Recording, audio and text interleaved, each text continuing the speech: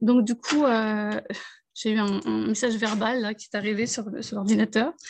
Euh, donc, du coup, voilà, c'est à mettre en place. Euh, voilà, il y a tout un étayage verbal qui peut se faire, mais quand effectivement, ben, là, il n'y a pas la compréhension de l'environnement est compliquée, ben, là, ça va être des adaptations.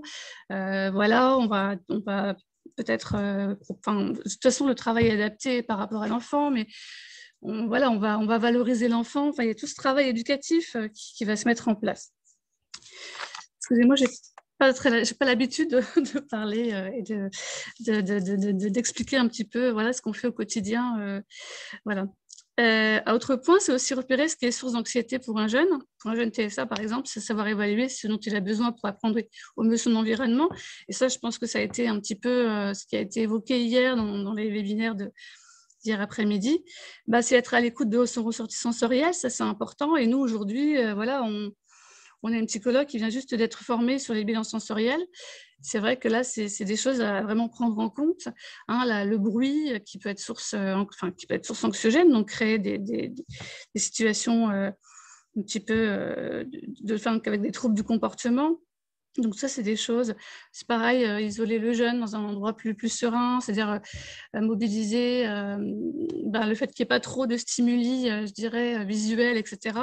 Ça, c'est des choses qu'on commence à mettre en place. C'est vrai que nous, initialement, l'IME n'était pas, pas dédié à la prise en charge on n'a pas de section autiste, donc euh, les professionnels ne sont pas tous forts. Enfin, certains ont une approche quand même dans leur, parcours, mais en fait, ici, il n'y a, pas a pas eu de formation dédiée à l'autisme.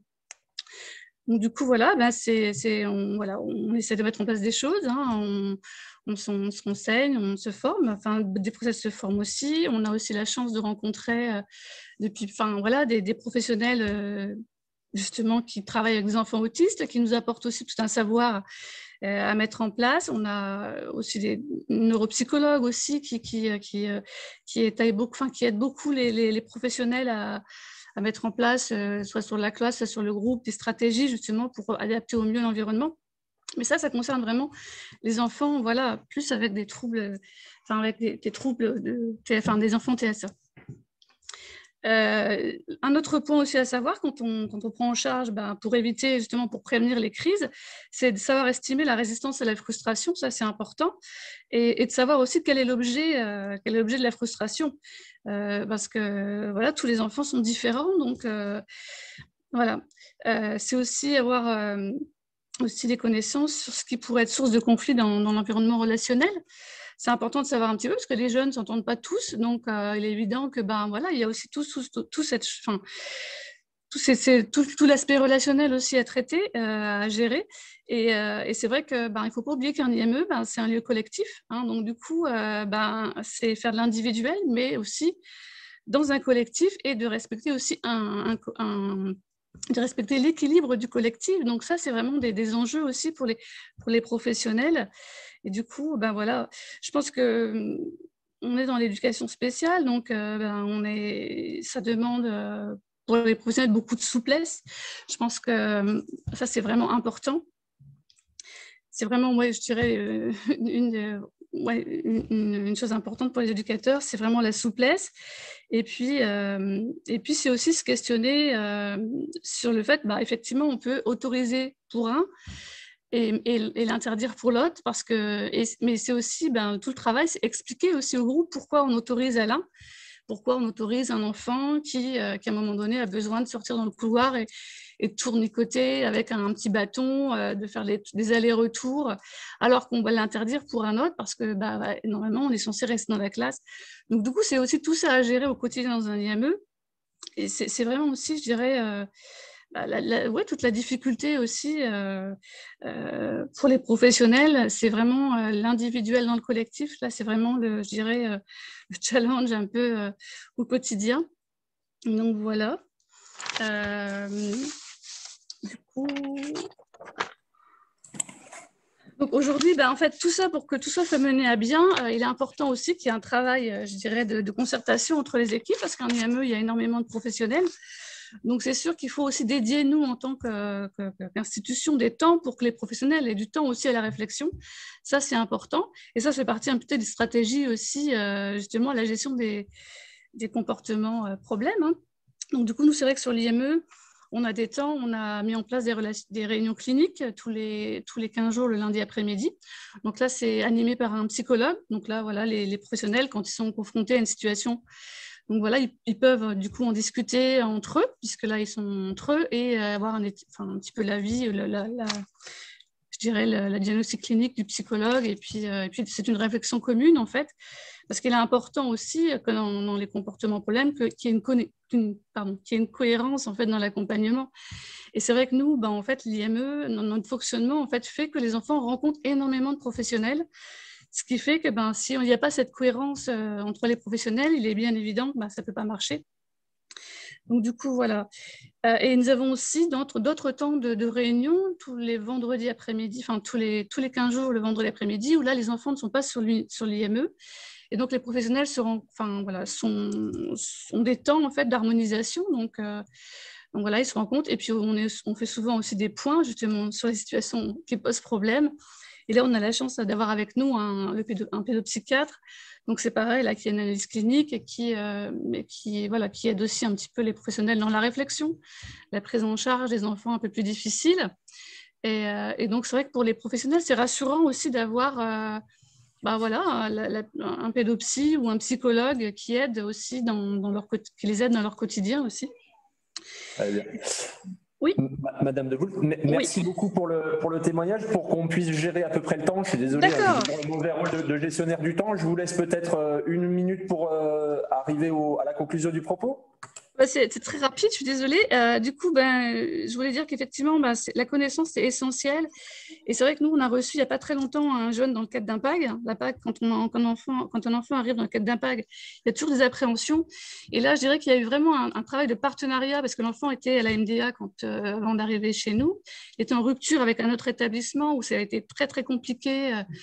Et du coup, tout, tout, le travail qui a été fait, je dirais, avec la pédopsychiatrie, donc la MDA, de rencontres, de, temps passé avec le jeune à la MDA, puis des, incursions, du, du des, temps passés ici avec le jeune, ce qui a fait que le jeune en fait a pu être accueilli, alors que c'était une, situation très très compliquée, a été accueilli ben, avec moins d'appréhension puisque les professionnels ont réussi à, le, connaître sur un autre lieu, et puis le jeune après est arrivé et a après à connaître aussi ben, les lieux d'ici et les professionnels d'ici. Donc ça a vraiment permis une bonne, enfin, une bonne entrée en la matière entre lui et nous, on va dire. Et, ce qui, euh, et je pense que ça, pour le coup, ben, l'enfant n'a pas eu d'expérience négative en arrivant ici sur l'IME.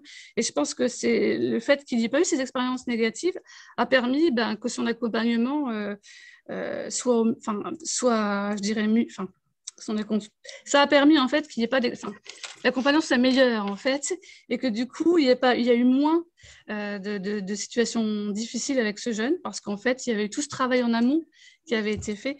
Et c'est pour ça que je veux dire au niveau des partenariats je pense qu'aujourd'hui les établissements médico-sociaux médico-sociaux pardon euh, il est important qu'on travaille avec le secteur de sanitaire enfin qu'on travaille beaucoup avec la psychiatrie euh, on se rend compte évidemment dans le cadre des PAC, mais ça c'est vraiment essentiel. Et nous, on a la chance aussi d'avoir un psychiatre euh, qui nous aide justement aussi.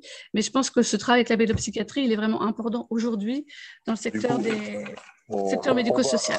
On, va pouvoir y, revenir avec le, professeur Roland euh, dans le, deuxième temps de, la table ronde. Je suis, je suis navré de, vous imposer une gestion du temps un peu stricte. Je sais que l'exercice un peu peu... pas facile, d'autant moins, d'autant moins en webinaire et face caméra. On sait que c'est toujours du, sport pour les professionnels qui viennent témoigner en, journée d'études euh, et, le contexte webinaire ne, simplifie rien et loin s'en faut. Mais merci beaucoup pour, euh, pour votre témoignage. Il y a plusieurs questions. Ce que je vous propose peut-être, c'est euh, d'attendre la fin de la table ronde pour faire un tour d'horizon global.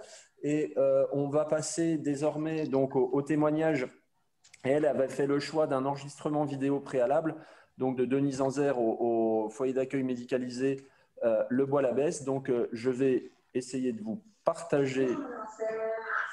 Bonjour Madame Anser, je vous remercie euh, de nous accueillir au sein de, votre établissement pour ce webinaire sur la thématique des comportements problèmes. Dans un premier temps, je vais vous proposer bien de, de vous présenter et de nous présenter brièvement les missions de votre établissement. Bonjour euh, Madame Martineau, c'est avec euh, plaisir que je vous reçois au sein du foyer d'accueil médicalisé. Je suis chef de service depuis 2003. J'ai commencé à exercer au foyer de vie de l'association de Bois-la-Besse. Et en 2008, j'ai occupé le poste de chef de service sur le foyer d'accueil médicalisé, qui était donc un nouvel établissement. Le foyer d'accueil médicalisé est une, une émanation du foyer de vie, puisque l'on avait repéré des personnes qui étaient en difficulté pour suivre les rythmes proposés au foyer de, vie. Euh, il se trouve qu'en 2003 également, euh, a eu lieu le premier euh, diagnostic, les premières évaluations de certaines personnes qui, à ce moment-là, ont pu être diagnostiquées autistes. Donc, certaines personnes avaient déjà plus de 40 ans quand le premier diagnostic a été posé. D'accord. Donc, vous accueillez combien de résidents? Donc, nous accueillons 17, euh, pardon, 17 personnes en hébergement, 2 personnes en accueil de jour et nous avons une place d'accueil temporaire euh, que nous dédions à euh, du, répit. C'est aussi un accueil temporaire que l'on utilise pour pratiquer des évaluations en vue de conforter une orientation pour entrer euh, dans le vif du sujet par rapport à la thématique qui nous intéresse, est-ce que vous pouvez nous présenter euh, les, stratégies de, l'équipe euh, afin de repérer les facteurs à la fois de déclenchement d'épisodes de crise chez les adultes et notamment les stratégies pour les, les éviter. Donc ça, c'est la thématique globale. Est-ce que vous avez pu mettre en place des adaptations environnementales particulières alors, les premières adaptations environnementales ont eu lieu au moment de la, création du foyer d'accueil médicalisé, puisqu'on est dans un bâtiment qui n'a pas été créé pour euh, le foyer d'accueil médicalisé, mais qui à l'origine est l'hébergement du, euh, du, foyer de vie. Euh, on accueillait dans cet hébergement une cinquantaine de personnes. comme je vous l'ai dit, aujourd'hui, on en accueille 17. On est passé de, de chambres, on va dire, euh, communes à deux ou trois lits à des chambres euh, individuelles. Donc ça, je pense que ça a déjà procédé finalement à diminuer les situations de crise. On a fait aussi baisser, par exemple, les plafonds qui étaient plus hauts. Donc déjà un système d'insonorisation donc ça, ça a été la première euh, réflexion. Il faut savoir que quand on a ouvert le foyer d'accueil médicalisé, euh, l'équipe et, moi-même n'étions pas euh, spécifiquement formés à l'autisme. donc une des premières stratégies, on va dire, ça a été de former un certain nombre de, de professionnels, donc chef de service, moi-même, la psychologue et des aides-soignants ainsi que euh, des éducatrices spécialisées qui ont été formées à l'autisme euh, et donc qui ont suivi une formation, on va dire, assez longue et conséquente de façon à acquérir plus d'expérience et de, connaître un petit peu les, mécanismes qui peuvent aussi conduire à des situations, à des situations de crise. Donc effectivement, quand on accueille une personne, j'ai envie de dire que notre premier travail est déjà euh, l'évaluation des capacités de la personne. Euh, ce dont on s'est aperçu, c'est que finalement, on surestimait souvent euh, les personnes accueillies.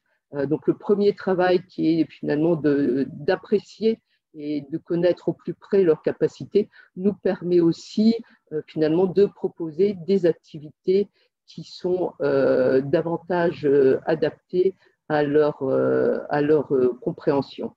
Ça, c'est une... Quel type d'évaluation vous avez pu euh, mettre en place? Alors, il y a des évaluations de type. alors, on a commencé par Bailan, Défi, APEP, etc. Enfin, des, évaluations plus ou moins spécifiques aux, aux, résidents présentant un TSA. Voilà, des évaluations spécifiques. Et, là, de façon plus euh, récente, on va dire qu'on s'est aussi euh, enrichi euh, en utilisant la Bogdachina de façon à avoir aussi une, carte sensorielle des résidents, puisque j'ai envie de dire que ce qui est souvent, ce qui peut majorer, en tous les cas, ce qui peut créer aussi des situations de c'est effectivement toutes les spécificités sensorielles des, des, personnes qui sont à, à mon avis, très importante à, à, prendre en compte. tout ce qui est au niveau, effectivement, évaluation au niveau de la sensorialité, ça vous permet après d'adapter autant que faire se peut l'environnement voilà, tout à fait. Ça, ça nous permet de comprendre certains processus. Ça peut nous comprendre aussi, euh, euh, par exemple, pourquoi une personne euh, peut refuser telle activité parce que justement les odeurs liées à l'activité peuvent déranger, parce qu'au niveau sensoriel, au niveau du toucher, voilà, on est dans une hyper ou une hyposensorialité. Pourquoi cette personne va rechercher certains, certaines odeurs manipulées, par exemple ce qui n'arrive pas souvent, mais des excréments, euh, conserver euh, des papiers WC euh, utilisés, voilà. Ça, nous donne en tous les cas un, élément de compréhension et ça nous permet aussi de dépasser à certains moments des, des, situations qu'avant on n'était pas en mesure de, comprendre. On est en fait peut-être plus armé pour les comprendre et les, et les analyser et après, effectivement, faire un, travail euh, avec la, personne en ayant déterminé précisément sur quoi on pouvait euh, travailler.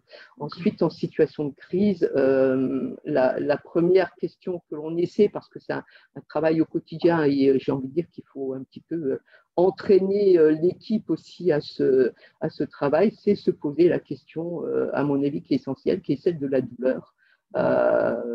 c'est en tous les cas, moi, je, travaille avec l'équipe pour que la première question qui soit posée en situation de crise, c'est est-ce que la personne, finalement, euh, est douloureuse? Alors, euh, ce n'est pas toujours facile à déterminer puisqu'on est face euh, au foyer d'accueil médicalisé à des personnes qui ont euh, une déficience euh, intellectuelle. Alors même, même si maintenant on n'est plus euh, forcément autorisé à la qualifier, mais je vais quand même la qualifier de, de sévère en tous les cas d'importante. Voilà. Et puis effectivement des personnes qui sont aussi vieillissantes. donc la question de la douleur est, est, centrale et elle doit être posée, à mon avis, à chaque fois qu'il y a une situation de crise d'où l'utilisation aussi euh, de grilles euh, d'évaluation de, la douleur. Alors, euh, c'est pas simple parce qu'on est face à des personnes qui ne nous disent pas si elles ont mal, ne savent pas déterminer où elles ont mal, et parfois l'examen, premier examen clinique, voilà, ne nous, nous, permet pas, en tous les cas, de déterminer une, cause, un reflux gastro-œsophagien. Euh, ça ne se voit pas, mais ça peut être désagréable pour la personne. Enfin, euh, voilà. Euh, donc ça, c'est aussi un, élément important, central à, mettre en place. Ensuite vient aussi la question de la, de la communication. puisqu'on peut aussi avoir des, états de crise, puisque la personne ne sait pas dire ce qui ne va pas, donc elle va nous manifester, euh, euh, on va dire, de façon parfois un petit peu euh, violente, mais c'est la personne, et c'est en ça aussi que les évaluations vont nous, nous servir. Est-ce que la personne peut utiliser des pictos, des photos, voire maintenant, on a aussi des, des, résidents, je pense à deux résidents qui nous sont arrivés d'autres établissements et décrits comme n'ayant pas de communication verbale, donc pas d'accès à la communication, sauf qu'en mettant en place, par exemple, un téléphone avec des outils euh, adaptés, des personnes sont en capacité euh, au moins de faire euh, des demandes en avec la vie courante. j'ai soif, je, veux ça, et ça aussi, je, pense que ça permet de, de réguler les crises. voilà. Après, ce qu'on peut mettre en place aussi au niveau de, l'équipe, ce sont bien sûr des, grilles d'évaluation, des grilles d'observation, de façon à essayer de déterminer euh, l'élément déclencheur euh, d'une crise et à force d'observer, euh, alors on n'arrive pas toujours, hein, mais on arrive quand même régulièrement à déterminer s'il y a un élément déclencheur de cette crise. Et puis ça nous permet aussi après de travailler ou d'essayer d'effacer l'élément déclencheur ou de travailler avec la personne sur une habituation finalement euh, de, ce qui se passe. Euh, ça, c'est par exemple, je reviens à la question des soins, mais euh, c'est par exemple comment on habitue régulièrement une personne à, certains, soins, voilà, de façon à ce que ça ne, déclenche plus systématiquement une crise quand il y a une prise de tension. voilà un petit peu son travail, comment il est organisé au sein au sein du FAM. Et bien sûr, après, si on prend en compte justement cette, euh, ces spécificités, ces spécificités sensorielles, on va réfléchir à l'organisation, par exemple, des repas. On a mis en place des paravents, des claustras, de façon à diminuer les, sensoriels, les, stimulations sensorielles pour certaines personnes. On a autorisé à un temps à une personne à manger dans sa chambre parce que voilà, c'était important de faire diminuer effectivement la, charge sensorielle. Et pour une personne, on en était arrivé euh, à quasiment plus proposer euh, d'activité euh, tellement finalement l'impact sensoriel était important, elle avait été surstimulée. Là, ce que vous évoquez, c'est vraiment l'importance de l'individualisation de l'accompagnement au regard effectivement des, des, spécificités, des besoins de la personne et du coup effectivement l'environnement s'adapte l'environnement tente de s'adapter, mm. puisqu'on ne peut pas non mm. plus euh, tout adapter. On est dans un collectif, donc entre des personnes qui ont besoin d'être surstimulées, d'autres mm. sous-stimulées. Euh, voilà, un équilibre. Hein. Il faut trouver euh, l'équilibre, il faut effectivement trouver des stratégies pour que, tout le monde soit le mieux traité possible en fonction de ses, particularités. Vous évoquiez en début de, d'entretien, la, notion de, formation qui avait été très intense euh, auprès des équipes. Est-ce que hum, cette euh, notion de, formation perdure? Est-ce qu'il y a des, formations tout au long euh, de, l'année qui sont proposées pour développer des spécificités encore Alors là, le, prochain gros, chantier, puisque la vie des, équipes fait aussi qu'il y a des débats à certains moments, hein, des personnes qui sont rester euh, dix ans femmes, ben, à un certain moment, je pense que euh, c'est plutôt pas mal qu'elles aillent aussi des fois euh, vers d'autres horizons. Hein. Je pense qu'il ne faut pas nier que l'autisme, le questionnement perpétuel, ça, ça ébranle quand même nos, certitudes.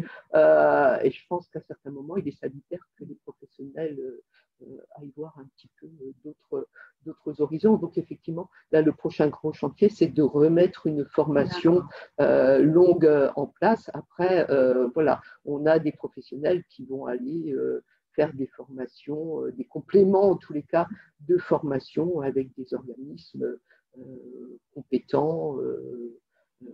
Voilà. Mais effectivement, en plus, j'ai envie de dire que ces dernières années, les, euh, les, connaissances sur l'autisme ont tellement évolué et continuent d'évoluer qu'il est important euh, euh, de, se tenir au courant de ce, qui se, de ce qui se passe justement pour, pour proposer un accompagnement qui soit le plus adapté possible.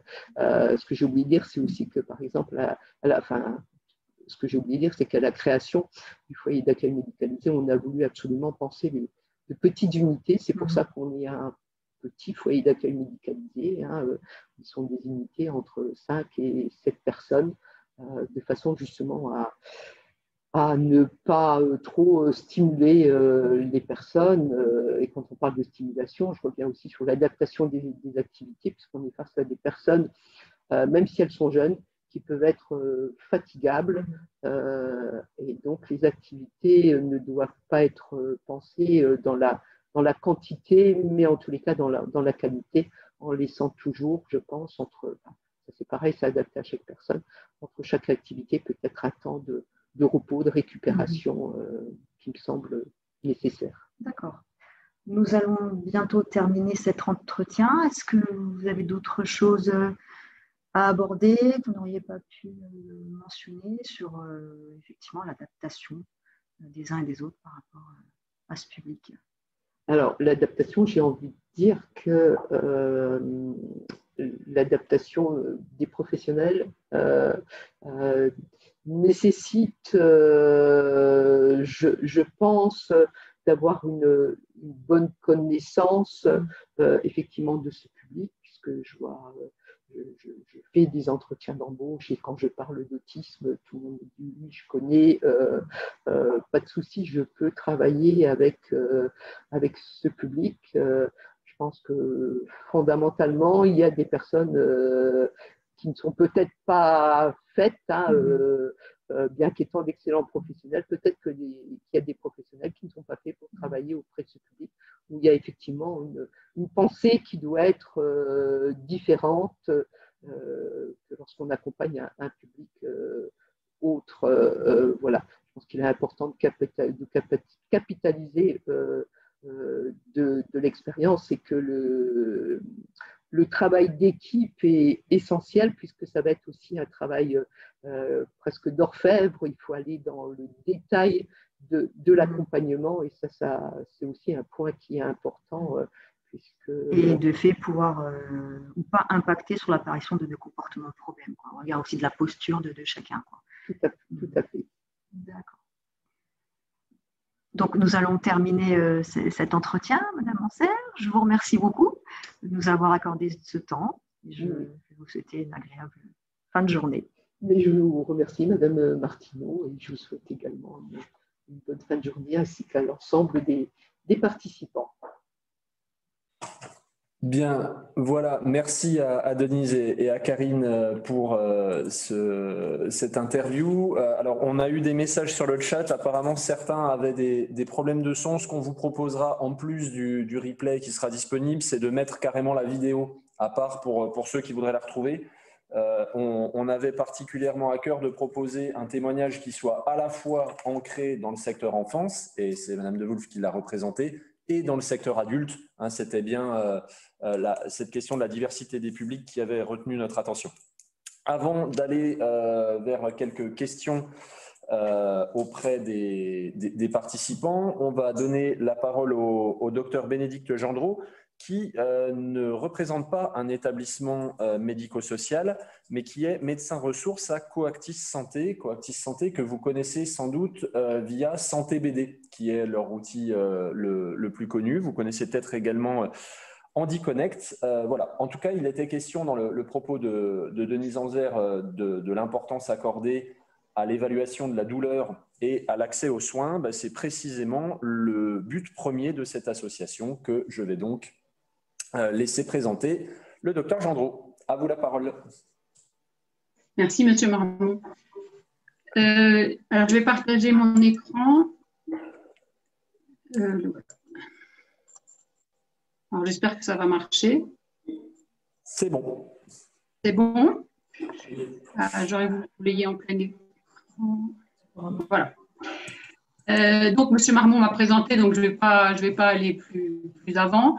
Euh, donc, je vais vous présenter les outils Santé BD Connect pour analyser, accompagner, prévenir les comportements problèmes.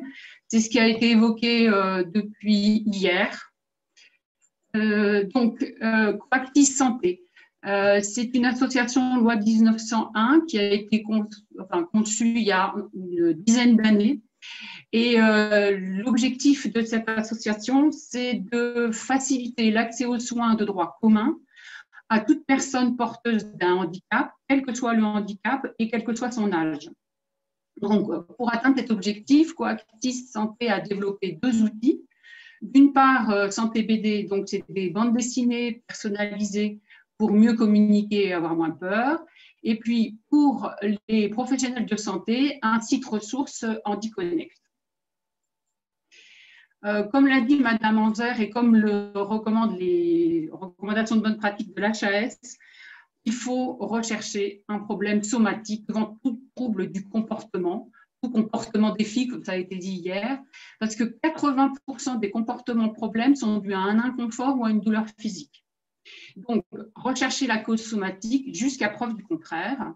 Et pour la rechercher, ça a également été dit, euh, ça nécessite euh, une analyse pluridisciplinaire et ça inclut à l'évidence ces personnes qui connaissent le mieux euh, cette personne, c'est-à-dire sa famille, ses aidants, et on adjoint les professionnels des soins somatiques, les professionnels des soins psychiques et les éducateurs. Alors, pour ne pas partir sur des sujets trop, trop variés, je vais vous présenter un cas clinique. Alors, ce cas clinique, ce n'est pas moi qui l'ai écrit, c'est l'Association française du syndrome d'Angelman et cette vignette clinique nous avait été présentée lors d'une journée de formation de la filière déficience. Je pense que quelques-uns d'entre vous connaissent cette, euh, filière. Donc, si vous voulez utiliser la vignette et toutes celles qui vont être euh, indiquées, euh, précisez bien d'où elle vient. Donc, Le cas, euh, c'est celui de Lise, c'est une petite fille de 10 ans donc qui, qui a un syndrome d'Angelman, et elle nous met au défi avec un comportement d'auto- et d'hétéro-agressivité, euh, des troubles du sommeil qui sont très importants et une très grande agitation. En équipe pluridisciplinaire, on réfléchit un petit peu euh, aux particularités de Lise. Donc, Lise, je vous dis, est porteuse d'un syndrome d'Angelman.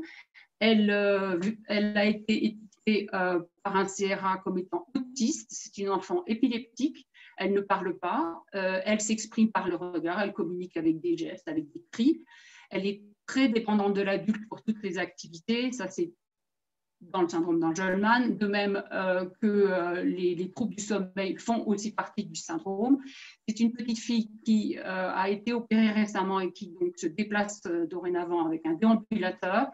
Elle est accueillie en internat en IME et elle rentre chez ses parents tous les 15 jours à 3 semaines. Donc, pour ces comportements problèmes, je pense que vous avez déjà fait beaucoup d'hypothèses mais on vient de dire 80% sont d'origine somatique, donc on va aller chercher une origine somatique. Pour ça, je vous propose une grille, une feuille euh, pour euh, évaluer donc ces modifications de comportement.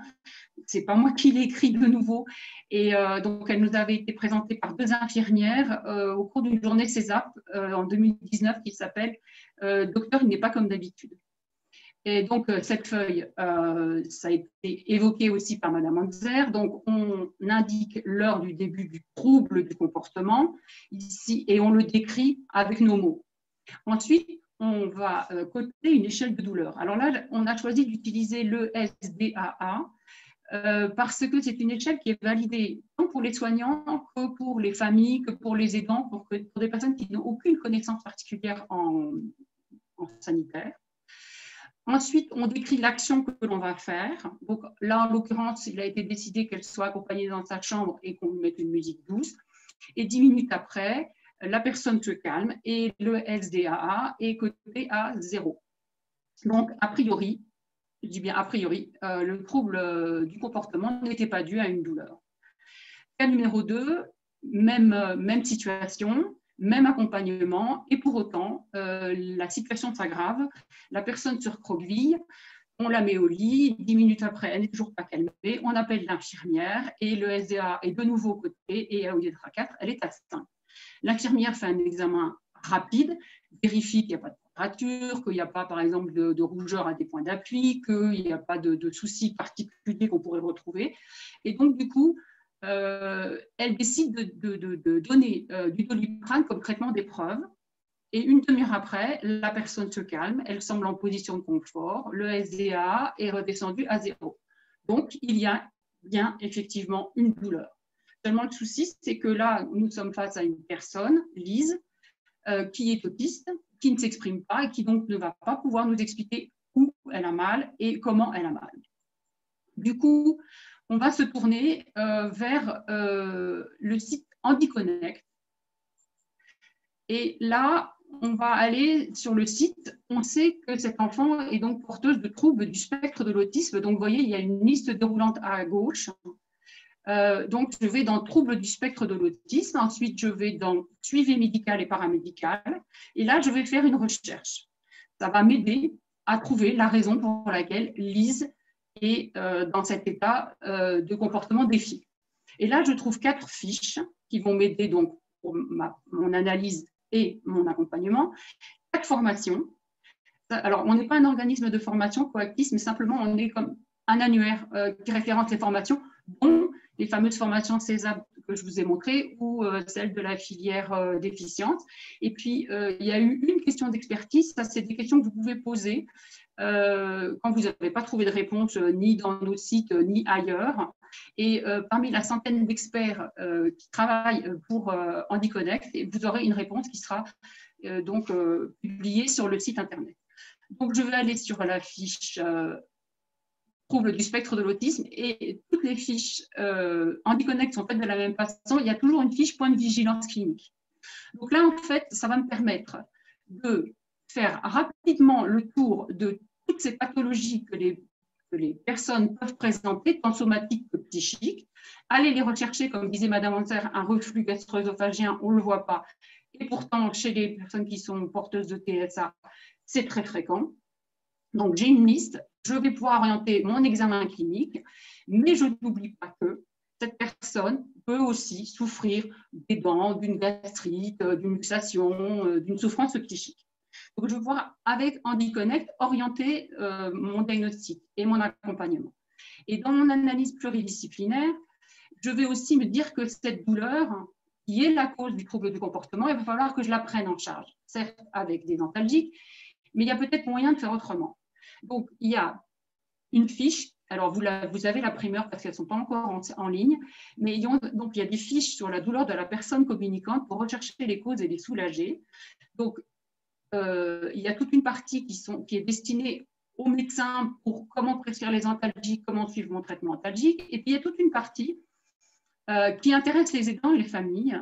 C'est toutes ces méthodes non pharmacologiques qu'on peut mettre en place pour soulager la personne et donc par voie de conséquence, diminuer ce comportement problème. toutes les approches psychologiques n'ont pas besoin euh, de formation particulière. Faire des bulles de savon, euh, c'est à la portée de n'importe qui, mais de la musique aussi. Emmener la personne en salle Hélène pour la détendre. Faire des touchés massages si elle l'accepte. Emmenez-la en balnéo si elle l'accepte. Vous connaissez bien la personne, vous savez ce qui va l'apaiser. N'hésitez pas à mettre en place ces moyens non pharmacologiques pour la soulager et réduire ce comportement problème. Donc, euh, Lise a eu un examen clinique et on a diagnostiqué une très probable carie. Le souci, vous le connaissez comme moi, c'est d'emmener euh, une personne avec un trouble du spectre autistique dans un cabinet dentaire.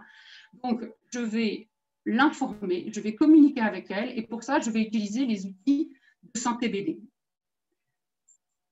Euh, voilà comment se présente le site. Donc, vous avez, alors je vais rapidement sur la partie Covid qui, a été euh, euh, construite depuis mars l'année dernière, vous allez trouver plein de renseignements sur les gestes barrières. Par exemple, il y a le lavage des mains avec un séquençage spécifique pour les personnes qui ont des troubles du spectre de l'autisme, et aussi qu'est-ce que je dois faire en confinement, la vaccination, moi, ce qui m'intéresse aujourd'hui, c'est donc Lise avec son problème de je vais l'accompagner euh, chez le dentiste. Comment est-ce que je vais faire pour ne pas déclencher de comportement problème? Donc, je vais aller découvrir les BD. Là, soit je vais aller euh, rechercher par mots-clés, soit par thème. En l'occurrence, là, je sais que c'est un thème dentiste, mais vous pourrez aller regarder, il y a, énormément de thèmes différents. Il y a quand même 66 BD euh, différentes. Donc là, j'ai trouvé la fiche qui m'intéresse qui s'appelle examen dentaire. Et là, je vais pouvoir la personnaliser.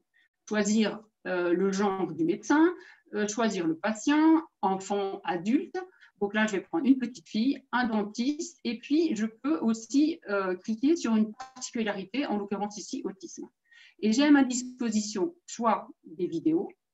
Alors avec Lise, je ne vais pas choisir d'utiliser la vidéo parce que je pense que ça va trop vite pour elle et ça va être compliqué. Contre, je peux regarder la BD avec elle et je peux surtout l'enregistrer et pardon, lui montrer euh, au fur et à mesure euh, de sa compréhension, de son temps d'attention. Alors, les BD sont toutes faites de la même façon. Elles sont écrites en facile à lire et à comprendre. Les dessins sont simples et la présentation est très épurée. Donc ici, c'est le cabinet dentaire. Euh, Lise est une enfant autiste, donc je vais la prévenir qu'il va y avoir des lumières fortes il va y avoir des bruits inhabituels, des odeurs inhabituelles et que le dentiste va avoir un masque. Je lui explique aussi ce que le dentiste va faire quand il va être dans sa bouche, quels instruments il a, comment ça va se passer. Et je lui explique ce que c'est qu'une carie, parce qu'a priori, c'est peut-être un mot qu'elle connaît. Et puis, je l'enjoins à ne pas fermer la bouche quand le dentiste aura la main dans sa bouche pour ne pas le mordre je peux reprendre la, la, BD aussi longtemps euh, et aussi souvent qu'il y aura besoin pour préparer l'ISO soin. Madame Antin en a déjà parlé. Il faut vraiment préparer euh, les personnes pour éviter ces troubles du comportement. Euh, un autre moyen aussi de prévenir les troubles du comportement, c'est de faire soi-même son outil, faire un outil adapté. Santé BD, c'est 10 000 images qui sont en accès libre gratuit et donc là, moi, j'ai imaginé pour une personne qui avait euh, des difficultés à amener à bien une tâche, à séquencer ses actions, qui avait besoin qu'on la rassure et qu'on la stimule, je lui ai imaginé un calendrier euh, en vue d'une intervention chirurgicale. Donc aujourd'hui, il ne faut pas qu'elle oublie d'aller à la consultation d'anesthésie. Lundi et mardi, elle doit aller au laboratoire faire une prise de sang et mardi à la radio. Jeudi, elle rentre à l'hôpital et vendredi, elle va se faire opérer. Quand elle va rentrer à l'hôpital, il ne faut pas qu'elle oublie sa carte vitale, sa carte mutuelle, son ordonnance de traitement si elle en a une, une recommandation du médecin s'il y en a. Il ne faut non plus pas qu'elle oublie ses papiers d'admission, ses résultats de bilan sanguin, ses radios. En chambre, elle va être accueillie par une infirmière qui va lui poser des questions avec le passeport santé santé BD ou avec le questionnaire infirmier santé BD. Le lendemain, elle descend au l'opératoire, elle est anesthésiée. Elle se réveille en salle de réveil avec l'anesthésiste et l'infirmière et ensuite elle va retourner en chambre, perfusée. Elle va rester en chambre perfusée pendant trois jours, puis ensuite trois jours encore à l'hôpital sous surveillance et ensuite elle va rentrer à la maison et on va l'inviter à rester calme et à reprendre progressivement ses activités.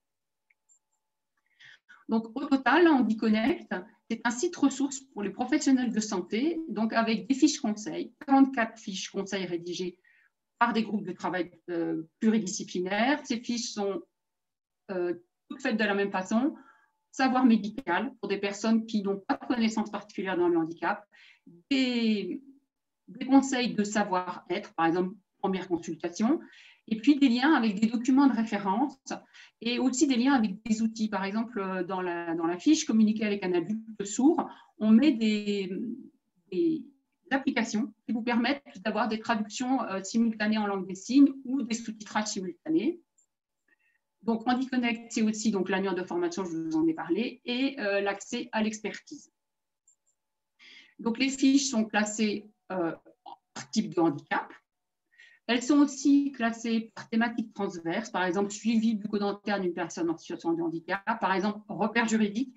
Repère juridique, ça a été écrit par un avocat et notamment c'est pour mieux comprendre euh, euh, ce que c'est que le consentement aux soins et comment est-ce qu'on fait quand il y a une personne qui refuse un soin alors que la tutelle et la famille euh, désirent que ce soin soit réalisé, vice-versa. Il y a aussi des fiches là qui sont en cours d'écrite de, parution sur la, violence, violence faite aux femmes en situation de handicap, violence faite aux personnes en situation de handicap, les fiches douleurs, et puis il y a tout un tas de fiches réflexes Covid, notamment pour le test d'azopharyngée, et puis euh, que faire euh, avec une personne épileptique, TSA, sourde, avec un Covid. Santé BD, vous, vous avez donc 66 BD numériques téléchargeables gratuites, 10 000 images, vous pouvez faire vous-même votre, euh, votre projet. Vous pouvez, vous pouvez euh, créer vous-même votre outil pédagogique, simplement en signalant que les images viennent de Santé BD. Il y a une application mobile sur tablette, sur portable qui est pratique parce que quand on va par exemple à domicile, je pense à une infirmière CESAD qui va à domicile, elle peut vous montrer tout de suite euh, la, la, BD à la personne. Et puis, il y a des vidéos qui sont en ligne sur la chaîne YouTube. Et la dernière, euh, le vaccin contre le Covid, euh, a été traduite en langue des signes belge et en langue des signes français. Donc, tous ces outils numériques sont gratuits. Gratuits parce que les experts travaillent bénévolement, parce qu'on est soutenu par des partenaires, dont l'ARS Grand Est, que je salue ici, euh, et puis euh, des fonds privés, Malakoff, Médéric Fondation Handicap et la MNH. Vous pouvez nous suivre sur les réseaux sociaux. Inscrivez-vous aux newsletters, ça vous permettra de savoir quand vont sortir ces fameuses fiches violences, les fameuses fiches douleurs, les nouvelles fiches sur les, troubles 10. Et je vous laisse ici les, adresses, les noms et les adresses des contacts. Et donc, vous pouvez nous contacter sans aucune difficulté pour un projet, pour avoir des précisions. Je vous remercie. Merci beaucoup, docteur Gendreau, euh, pour euh, bah, déjà tout l'intérêt des, outils de Coactis Santé, euh, donc récemment implantés en, région Grand Est. Et puis, bah, du coup, merci également pour avoir bien respecté le, timing dans une matinée qui va courir un petit peu après le temps. Euh, raison pour laquelle, parmi les, différentes questions posées, on ne va pouvoir malheureusement en retenir qu'une seule, euh, plutôt destinée à Madame De a priori, mais on, pourra laisser à, chacun le, soin de s'exprimer dessus. Euh, au milieu des, différentes, enfin, des différents points d'attention que vous avez les unes et les autres cités, comment l'expérience des familles et l'expertise même des familles est-elle prise en compte, Madame De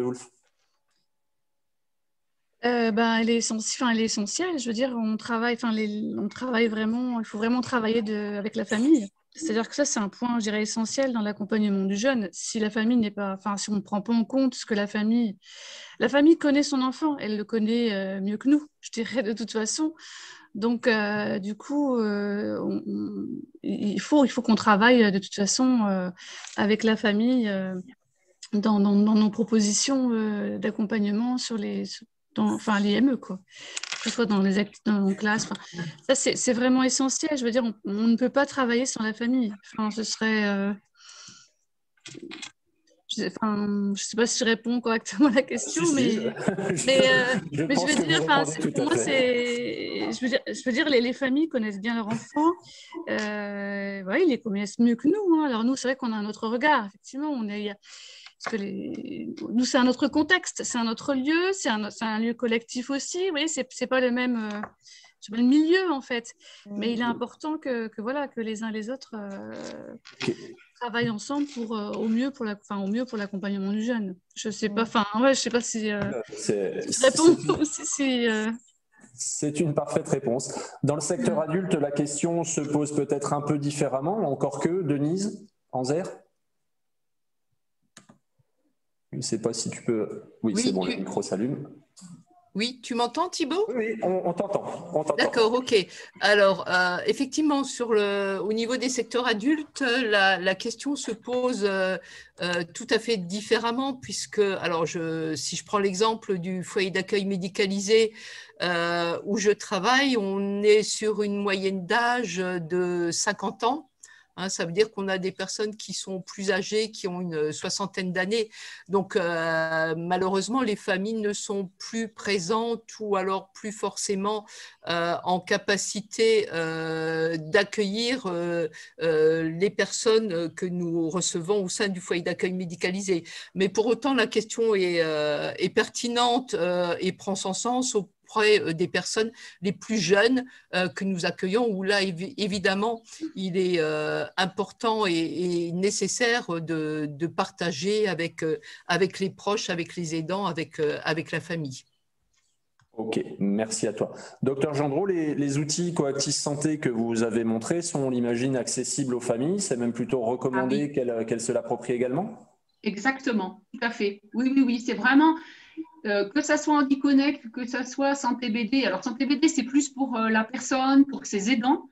Et hum, ça permet notamment, il y a des parents qui témoignent en disant Eh bien, j'ai repris ma place de parent. C'est-à-dire que je lis une histoire avec mon enfant, je peux lui expliquer, je reprends mon rôle de parent. Et c'est, enfin, on le sait tous, comme c'est important de restaurer ses parents dans cette parentalité, donc, bien sûr qu'ils vont utiliser ces outils-là. Et on enjoint aussi les parents euh, à regarder ces fameuses fiches euh, sur les handicaps, par exemple la fiche douleur, quand on est à la maison avec un enfant qui a des troubles du comportement et qu'on ne sait que faire.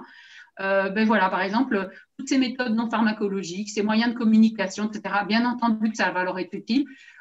comme disait Madame de Wulf, c'est quand même eux qui connaissent le mieux l'enfant, alors, quand je parle d'enfant, je parle aussi d'un enfant adulte. C'est eux qui le connaissent le mieux.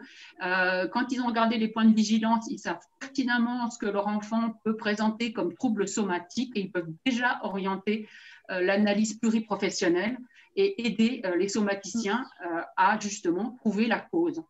Donc, les parents ont leur place et avec les outils, ils ont encore, on les aide, disons, à, à reprendre bien leur place. Voilà. Merci beaucoup à vous.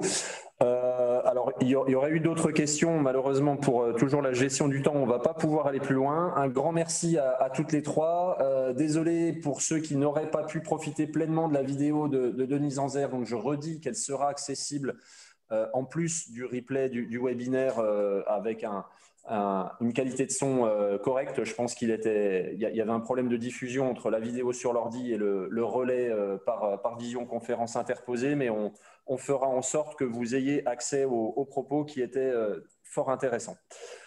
donc, on va tenter une nouvelle manip technique, c'est-à-dire retirer du partage d'écran nos trois premières intervenantes et accueillir Anne-Catherine Roland, euh, sur la séquence suivante intitulée L'hôpital comme ressource. Alors, Madame Roland, vous avez normalement la possibilité d'activer votre caméra Voilà, parfait. Et votre micro également. Euh, merci à vous d'avoir euh, répondu à, l'invitation qu'on vous a faite. vous êtes chef du service de pédopsychiatrie de, l'enfant et de l'ado au CHU de Reims et vous avez accepté de répondre à la, à la question de savoir comment l'hôpital pouvait se positionner comme ressource dans un contexte où les ressources de l'hôpital sont à la fois euh, en raréfaction et très sollicitées, euh, c'est particulièrement vrai en contexte Covid, y compris au plan de la santé mentale, euh, et dans un contexte aussi où les attentes des acteurs du champ médico-social sont très fortes. Donc voilà, solution de dernier cours, ressources d'appui. on vous écoute pour une, une présentation sur ce que peut faire le secteur sanitaire pour le médico-social. Oui, bonjour, bah, merci de cette invitation. Euh, j'ai partagé mon écran. Qu'est-ce que ça donne Pardon? On le voit. On le voit. Par contre, vous n'êtes pas en mode euh, diaporama, je crois. Il faudrait juste lancer le diapo et puis ça sera, ça sera parfait. Euh, non, là, on vous a retrouvé. Oui, je vais y arriver, hein, vous voir. Ça va prendre un peu de temps. Alors, déjà, je suis ravie. N'a pas pu démarrer, veuillez réessayer ultérieurement.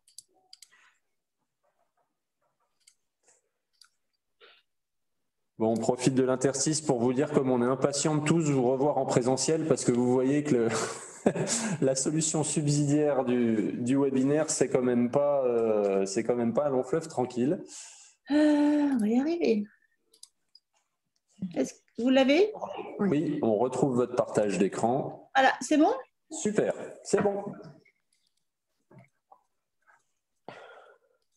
Mieux au démarrage. Alors, donc, vous m'avez présenté, j'en suis ravie. Donc, euh, oui, je suis chef de service et c'est avec cette casquette que je vais vous parler d'un secteur, ma foi, assez conséquent, mais je suis aussi professeur de pédopsychiatrie, donc je vais vous parler de l'enseignement parce que je pense que la formation est essentielle et je vais aussi vous parler euh, de tout ce qui se passe au niveau national puisqu'actuellement, il, il se passe beaucoup de choses et je suis assez impliquée euh, par toute, à la fois la formation et aussi l'organisation des soins. Alors là, c'est Reims, vous connaissez tous la Marne. Alors, vous n'habitez peut-être pas tous dans la Marne. Donc, euh, l'intersecteur Marne-Nord, alors c'est plus petit que Marne-Sud, mais une population euh, plus conséquente. Donc, on est à peu près équivalent entre les deux intersecteurs. Et je le dis dès maintenant, avec malheureusement euh, une grande inégalité par rapport à l'offre de soins Marne-Nord, Marne-Sud, même si on y travaille. Donc, un intersecteur de pédopsychiatrie, c'est quoi? Bah, C'est très vaste, hein, parce qu'on se doit d'accueillir de la naissance et même nous, on spécialise en périnatalité, même pendant la grossesse, s'il y a des troubles psychiques chez la maman, jusqu'à 18, on ne s'arrête pas à 18 ans pile, on commence pas un suivi à 18 ans. C'est vrai que pour nos patients, assez régulièrement, et surtout ceux qui présentent des troubles neurodéveloppementaux, on les accompagne au-delà. Donc, bien sûr, les parents, vous en avez parlé, c'est essentiel. Et bien sûr, la coordination avec pas mal de monde, mais le médico-social, bien sûr, on est, on est frères, sœurs, je ne sais pas comment on pourrait, dire, mais bien sûr c'est essentiel qu'on puisse encore mieux travailler ensemble. Alors, l'équipe pluridisciplinaire, j'insiste, c'est pareil chez vous dans le médico-social, mais c'est vraiment essentiel et c'est pas si simple. Euh, c'est nous, c'est maintenant une assez grosse équipe, on a à peu près 130 personnes. Et on aime bien euh, être tous ensemble parce qu'on a à la fois des spécificités euh, différentes et des niveaux de connaissances différents et de compétences. J'insisterai un peu sur les IPA, infirmiers en pratique avancée. je pense que c'est vraiment très intéressant. J'en parlerai au niveau de la formation, mais je pense que ça pourrait vraiment nous aider par rapport à cette offre de soins insuffisante sur notre territoire. Donc, euh, ça, c'est un peu un, secteur. Alors, c'est le nôtre. On a quand même pas mal de, structures. On va voir à quel moment elles peuvent intervenir euh, par rapport à, la question euh, posée ce jour. Les petites étoiles, c'est que c'est en cours de création, donc euh, c'est pas encore présent.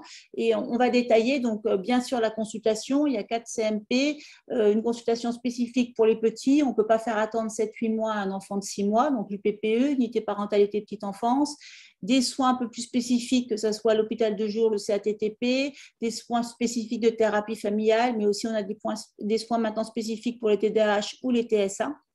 La, liaison, parce que la pédiatrie est bien sûr aussi un, partenaire essentiel. J'ai entendu qu'on parlait de la MDA, on en parlera bien sûr, les lits d'hospitalisation, accueil familial thérapeutique, je pense qu'on aimerait vraiment bien le développer, ça nous semble intéressant. Et puis donc nos trois petites dernières unités, l'UMOP qui va ouvrir en septembre, études mobile et d'orientation pédopsychiatrie pour adolescents, Supado, nos fameux lits d'urgence qu'on devrait ouvrir début janvier 2022. Et puis alors là, le Graal, le, séquentiel qui devrait vraiment nous aider euh, pour nos, patients les plus euh, compliqués, qui devrait ouvrir à Chalon-en-Champagne euh, d'ici, ben, si on trouve des médecins. Et le CRA, que j'oublie pas, mais qu'on détaillera par la suite assez classiquement, euh, moi j'aime bien le démarrage, je suis assez classique, prévention et gestion. Donc prévention, ensemble des mesures que l'on prend pour prévenir un risque, un danger, un mal, ça me va. Gestion, je suis un peu plus en difficulté. Hein. J'ai moins vu de médecin, action de gérer, d'administrer, mais ensemble des activités d'organisation, de planification, de direction et de contrôle nécessaires pour qu'une entreprise atteigne ses objectifs. J'avoue que la gestion, j'avais un peu plus de mal comportement, manière de se comporter, de se conduire, d'agir. Mais alors en psychologie, j'ai bien aimé ensemble des réactions objectivement observables d'un sujet, d'un organisme qui répond à une stimulation. Donc on voit bien la notion d'interaction et d'environnement. Hein, c'est comportement, c'est ce qui est visible, mais c'est bien en lien avec autre chose. Donc ça, ça je trouve que c'est vraiment intéressant pour qu'on puisse aider euh, ces patients et les structures qui les accueillent. Alors problème, avant, alors compliqué. Alors, moi en consulte, hein, c'est le mot que j'entends tout le temps. Problème, question à résoudre dans le domaine scientifique. Ça c'est pas mal pour nous médecins euh, avec un niveau de connaissances qu'on devrait avoir. Et puis alors, difficultés complexes, situation instable ou dangereuse, et ça, pour le coup, on le vit assez régulièrement. J'ai toujours à mes patients, euh, les parents, ça me rassure et ça nous rassure. On en a en permanence une dizaine qui sont vraiment dans ce, cette difficulté et ces problèmes. Et ça tourne, heureusement, ce n'est pas toujours les mêmes. Donc on s'en sort, c'est des cycles, hein. euh, mais c'est vrai qu'on a toujours ces situations euh, compliquées. Alors l'hôpital, alors si on prend euh, l'étymologie, euh, lieu d'accueil. Alors quand on dit ça, ça me fait un peu peur parce que ça voudrait dire qu'on pourrait tout accueillir. Alors peut-être dans un idéal, mais on sait bien que ça n'existe pas. Alors grand établissement public où sont effectués les soins médicaux et donc c'est vraiment ça, le sanitaire, le soin, acte destiné à assurer la conservation ou l'amélioration de la santé de quelqu'un. Donc ça veut dire qu'il y a un avant l'hôpital, un après l'hôpital et a priori, il devrait se passer quelque chose qui fait que. Hein, Est-ce que c'est parfois un peu compliqué pour euh, nos patients et les personnes que vous accueillez dans le médico-social? Alors, ressources, c'est pas mal aussi. Euh, le CRA l'avait pris, hein, euh, donc ça vient de l'ancien français ressourcé, relevé, hein, et donc moyen utilisé pour se tirer barrage. Et c'est vrai que souvent, on nous appelle et on voit l'hôpital comme, vraiment comme une ressource qui devrait vous tirer de l'embarras. Et je sais que malheureusement, ce n'est pas toujours possible. Alors, j'ai fait une dichotomie, mais bien sûr, c'est intriqué. On l'a vu dans les autres interventions. Hein. Euh, il y a le soin somatique, le soin psy, mais bon, on a la chance d'intégrer au pôle forme par enfant. Donc, bien sûr qu'on pense très régulièrement au somatique et on a peut-être un peu plus facilement euh, accès que dans d'autres lieux euh, aux professionnels somaticiens. À chaque fois, on parlera de l'urgence parce que je pense que c'est complètement différent euh, euh, euh, de l'urgence ou d'être là à d'autres moments. Donc, nos collègues par rapport aux patients que vous accueillez, enfants, c'est la pédiatrie, la neuropédiatrie. On peut être aussi, bien sûr, avec d'autres collègues quand il y a un souci gastro ou, ou ORL. On a évoqué, vous avez évoqué tout à l'heure de l'ontologie, on a vraiment des connexions intéressantes avec l'école dentaire sur Reims, la notion de la douleur qui a vraiment énormément progressé dans, vos établissements.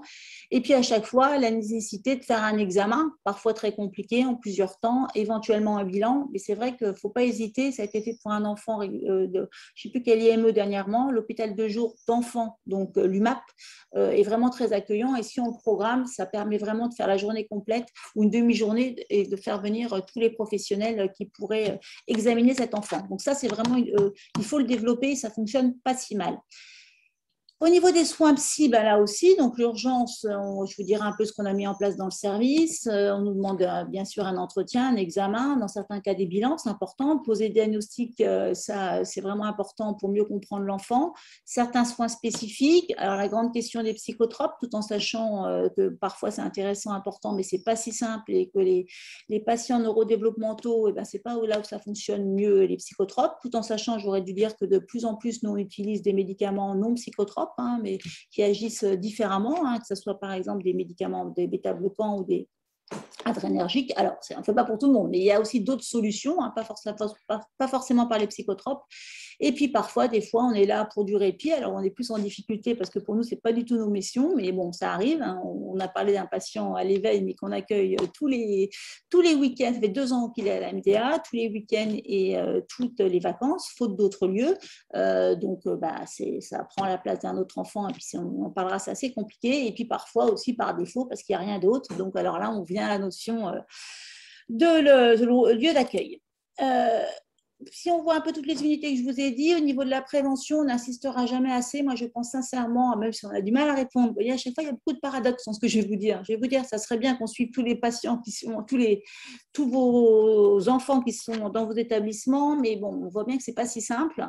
Euh, le, le, CMP s'est rattaché à un secteur, donc ça propose des consultations, c'est pluridisciplinaire, comme je vous ai dit. On a développé des soins spécifiques, ça doit être en lien avec les partenaires. Ça arrive de moins en moins souvent, mais parfois, dès qu'un enfant rentre dans un établissement médico-social, ou plutôt avant, il a arrêté aussitôt le suivi sur le secteur. Je pense que ça, c'est vraiment une erreur, parce qu'au niveau de la prévention, c'est bien plus simple, bien plus simple quand il y aura une nécessité d'intervenir, de déjà connaître l'enfant et la famille.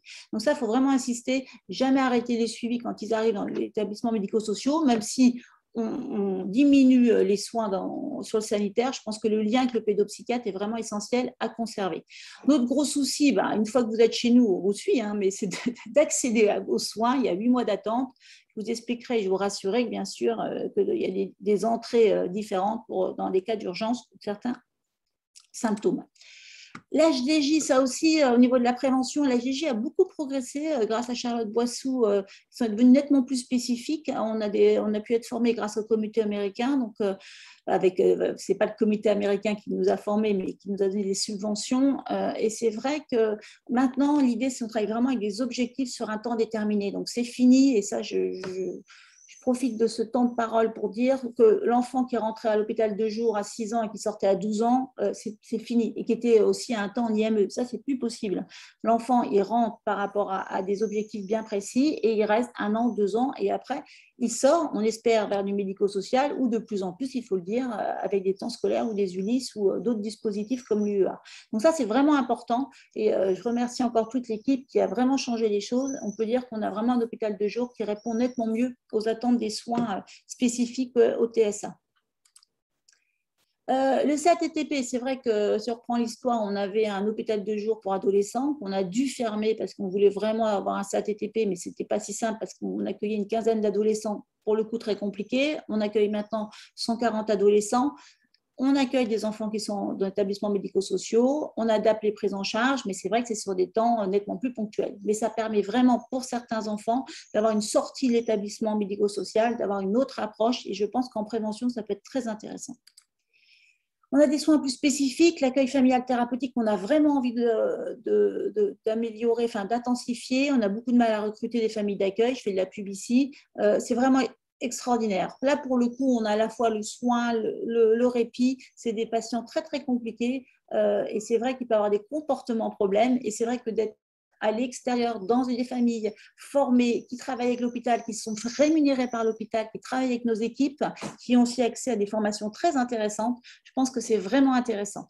Donc l'AFT, on a vraiment le développé. La thérapie familiale, c'est toujours intéressant. On a de plus en plus de, professionnels formés. Et puis dans le service, on développe. Alors, on n'a pas encore eu euh, accès à on n'a pas réussi que notre, que notre, projet soit financé par l'ARS, euh, mais c'est vrai qu'on a développé pas mal de formations spécifiques sur des temps en attente des IME, hein, sur un an euh, d'un verre, Pacte. Ça, c'est formidable, Pacte. C'est vraiment, on développe le travail avec les parents et on les aide, parce que c'est là où ils passent plus de temps, les enfants, au niveau des TSA. On voudrait vraiment les développer et on ne va pas lâcher, on va déposer un dossier et l'ARS va, va nous le financer.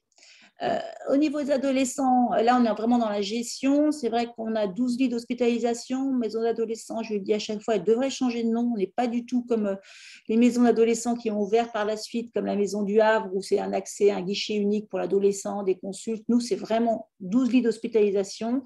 On n'arrête pas de le dire, mais on va changer de nom pour clarifier les choses. C'est un cadre contenant, repérant. Ça a complètement été bouleversé suite au Covid. Auparavant, on travaillait sur des hospitalisations programmées avec euh, l'urgence, l'afflux des patients. On ne peut plus le faire et on voit bien que c'est très compliqué. C'est vraiment actuellement euh, beaucoup, alors qu'auparavant, ça fonctionnait plutôt mieux. Et pour le coup, par rapport à l'amélioration, je trouve qu'à la sortie, ça allait plutôt mieux qu'avant. Maintenant, on travaille vraiment sur le fil, enfin, on a beaucoup, beaucoup d'entrées. Euh, on a mis en place, en attendant l'ouverture d'un traité séquentiel, un peu de séquentiel à la maison adolescent. Et là, ça fonctionne pas mal au niveau de la prévention, mais ça concerne peu d'adolescents. Et ce n'est pas à la carte, parce que ce qu'on va ouvrir, ça sera vraiment à la carte. Là, pour l'instant, c'est une semaine par mois. La pédopsychiatrie, bah, heureusement que la pédiatrie est là, puisque bah, arrivent en pédiatrie. Euh, en général, avant Covid, on avait 8 euh, adolescents à peu près hospitalisés en pédiatrie. On est monté jusqu'à 20 sur 25 lits. Et là, euh, aujourd'hui, on est encore à 15 aujourd'hui.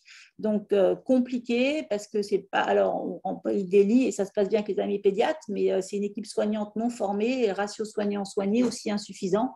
Donc, on a mis des moyens supplémentaires au niveau de la liaison. Et c'est vrai que pour les enfants troubles neurodéveloppementaux, le cadre de la chambre en pédiatrie est parfois compliqué aussi à vivre. Le cadre de la MDA est aussi compliqué, on en reparlera. Le fameux parcours au niveau de la gestion, on développe et on a eu des moyens alloués par l'ARS. Donc l'idée, c'est qu'un adolescent repéré comme nécessitant une hospitalisation doit l'être le plus rapidement possible et dans le lieu le plus adapté pour lui. C'est joli. On voudrait fluidifier le parcours, limiter les hospitalisations inadaptées, homogénéiser la qualité et l'offre de soins sur le département et redynamiser l'ensemble de la pédopsychiatrie marnaise. Vous voyez, on est vraiment ambitieux.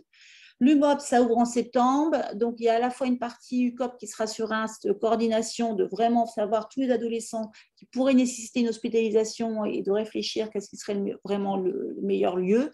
Deux équipes mobiles, là, que ça sera vraiment en transition, avant l'hospice, après l'hospice ou à la place de l'hospice, qui pourraient vraiment intervenir dans certaines situations des patients, enfin des enfants que vous accueillez. Euh, on aura toujours nos trois niveaux d'hospice euh, en pédiatrie, les urgences, on aura donc la chance d'avoir des lits d'urgence, on en aura à Reims, à Chalon, donc ça permettra, alors 96 heures, hein, c'est pas si long, euh, mais ça permettra dans certaines situations vraiment d'avoir un sécurisé et adapté pour certains de vos usagers mais ça sera vraiment du transitoire. Et on aura nos 12 lits et l'unité séquentielle qui devra ouvrir sur Chalon. Euh, là, ça sera vraiment à la carte, ça sera à l'extérieur de l'EPSMM, ça on y tient, et ça sera vraiment des projets à construire avec vous. Pour les enfants, j'ai toujours les trois plus compliqués, à la fois les troubles neurodéveloppementaux, ceux de l'ASE, malheureusement, on peut avoir les deux, hein, l'aide sociale à l'enfance, et ceux qui ont de la pathologie psychiatrique un peu plus lourde. Et on voit bien que ça se passe bien à la MDA, mais la sortie de la MDA, le retour à la vie plus normative est très compliqué. Et donc, hospice plus courte à la MDA, on stabilise et donc on met du séquentiel pendant six mois, voire un an, où là, à la carte, on construira avec nos partenaires pour vraiment consolider les soins. Donc ça, ça sera vraiment, on est plus dans la prévention. Le CRA, tout le monde le connaît, donc euh, on a maintenant une équipe enfants et adultes. Ils ont déménagé, ils sont maintenant à la clinique de Champagne. Donc, ils ont des missions aussi à la fois de, gestion et de, prévention. Le euh, diagnostic, c'est bien sûr essentiel et ça aide vraiment les, équipes à mieux connaître, à mieux comprendre les usagers. Encore à l'hôpital, la formation, là c'est la, professeure de pédopsychiatrie qui vous parle, c'est essentiel. Euh, il faut vraiment euh, qu'on arrive à, former plus de pédopsychiatres et mieux former. Je dis toujours, on ne m'a pas formé comme moi je forme les autres. Il y a un niveau de connaissance qui a beaucoup évolué hein, par rapport aux troubles neurodéveloppementaux. Donc ça, il faut qu'on continue. On travaille au niveau national, je suis présidente du CNU à la réforme de la maquette en cours. J'espère vous annoncer très prochainement. On était une option actuellement, c'est-à-dire que c'était la psy qui nous gérait et ce n'était pas une bonne chose parce qu'ils avaient tellement d'autres choses à faire. Donc là, on devrait avoir euh, deux options précoces. On sera à, égalité avec la psychiatrie d'adulte. On devrait former plus de pédopsychiatres. On a été entendu par euh, l'Élysée et par nos deux ministères et j'espère euh, vous annoncer très prochainement que c'est en place et donc on devrait vraiment être maître de notre formation et pouvoir en former plus et mieux. Donc, on n'a pas que des internes, on a aussi des, externes. Donc, on essaye de créer de la vocation. On a aussi un projet que chaque externe ait une obligation de passer en psychiatrie, adulte ou de l'enfant, hein, parce que c'est vrai qu'on n'est pas très attractif comme spécialité, alors qu'il y a énormément de demandes. Et on aimerait aussi euh, que tout médecin qui passe chez nous ou externe, euh, eh ben, le former au développement de l'enfant, aux troubles neurodéveloppementaux, à la notion handicap, au travail avec les parents, les partenaires, et la question quand adresser au secteur, parce que la médecine générale euh, ne sait pas toujours. On a aussi, on accueille de nombreux stagiaires sages-femmes, psychologues, des IPA depuis peu, donc infirmiers en pratique avancée, des IDE, des auxiliaires péricultrices. Ben, on est quand même un lieu de stage très conséquent et à chaque fois, ben, on insiste bien sur les soins spécifiques, les missions du secteur, le développement de l'enfant, le repérage et le travail avec les parents. Je vous évoque notre association qu'on a aussi développée par rapport à la formation. La faculté, énormément de travail aussi. Euh, on enseigne à tous les niveaux, premier, deuxième, troisième cycle. C'est essentiel. Il y a plein de vocations. Dès la première année, on peut leur donner envie avec le développement et les interactions par enfant. Donc, on travaille beaucoup sur les vocations. Et alors, c'est pas bon créer des vocations. troisième cycle, on travaille vraiment sur la réforme de la maquette. Je vous l'ai dit, augmenter le niveau. Et donc, à la faculté de médecine, maintenant, on forme depuis cette année, là, il y on vient dans dans diplômés euh, neuf, euh, donc infirmiers en pratique avancée, c'est exceptionnel le travail qu'ils font. Ils acceptent les infirmiers de faire deux années d'études supplémentaires, niveau master, euh, et ils ont un, diplôme. Malheureusement, ils ne sont pas du tout financés comme ils devraient. C'est une honte. Mais par contre, je suis impressionnée. Là, je viens d'avoir le jury et leur mémoire par leur qualité de compétences et de connaissances. Donc, ils vont se retrouver dans des lieux, et donc c'est un intermédiaire entre infirmiers et médecins. C'est pas si simple pour que les collègues comprennent exactement leurs prérogatives on y travaille, mais je pense que c'est vraiment euh, quelque chose de très intéressant. On, enseigne dans les écoles de formation et puis je fais un peu de pub. On a un diplôme universitaire de grande qualité de psychopathologie de l'enfant et l'adolescent à la faculté de médecine que je coordonne. Donc c'est ouvert à tout professionnel travaillant dans le champ de l'enfance et de l'adolescence. C'est un vendredi par mois. Alors, c'est bien beau tout ce que je vous raconte, mais euh, comme l'a dit euh, Thibault, donc il y a une saturation du dispositif d'intersecteur, relevé, révélé, exacerbé, c'est bien avant par la crise sanitaire. On a des délais qui sont bien trop conséquents, huit mois. On manque de lits d'hospitalisation d'où il y a encore des adolescents qui sont hospitalisés en psychiatrie d'adulte et ce n'est pas adapté. Et surtout, on a une offre de soins non homogène nord-sud. Alors, c'est partout pareil, en Haute-Marne, il y a plein de lieux où c'est très compliqué. Et c'est vrai qu'on est en grande difficulté, comme les familles, parce qu'il y a un manque de place dans les établissements médico-sociaux. Et donc, ce n'est pas des mois, là, c'est des années d'attente avant une orientation un peu de pub aussi, euh, on, va, va il y a la Commission nationale de psychiatrie, la pédopsychiatrie est représentée, je la représente au niveau des assises, et donc on, veut vraiment une refondation de la pédopsychiatrie française, c'est indispensable pour répondre euh, aux besoins colossaux de soins, euh, et c'est vrai qu'on veut aussi travailler à la fois l'offre de soins, mais aussi la formation, comme je vous l'ai dit.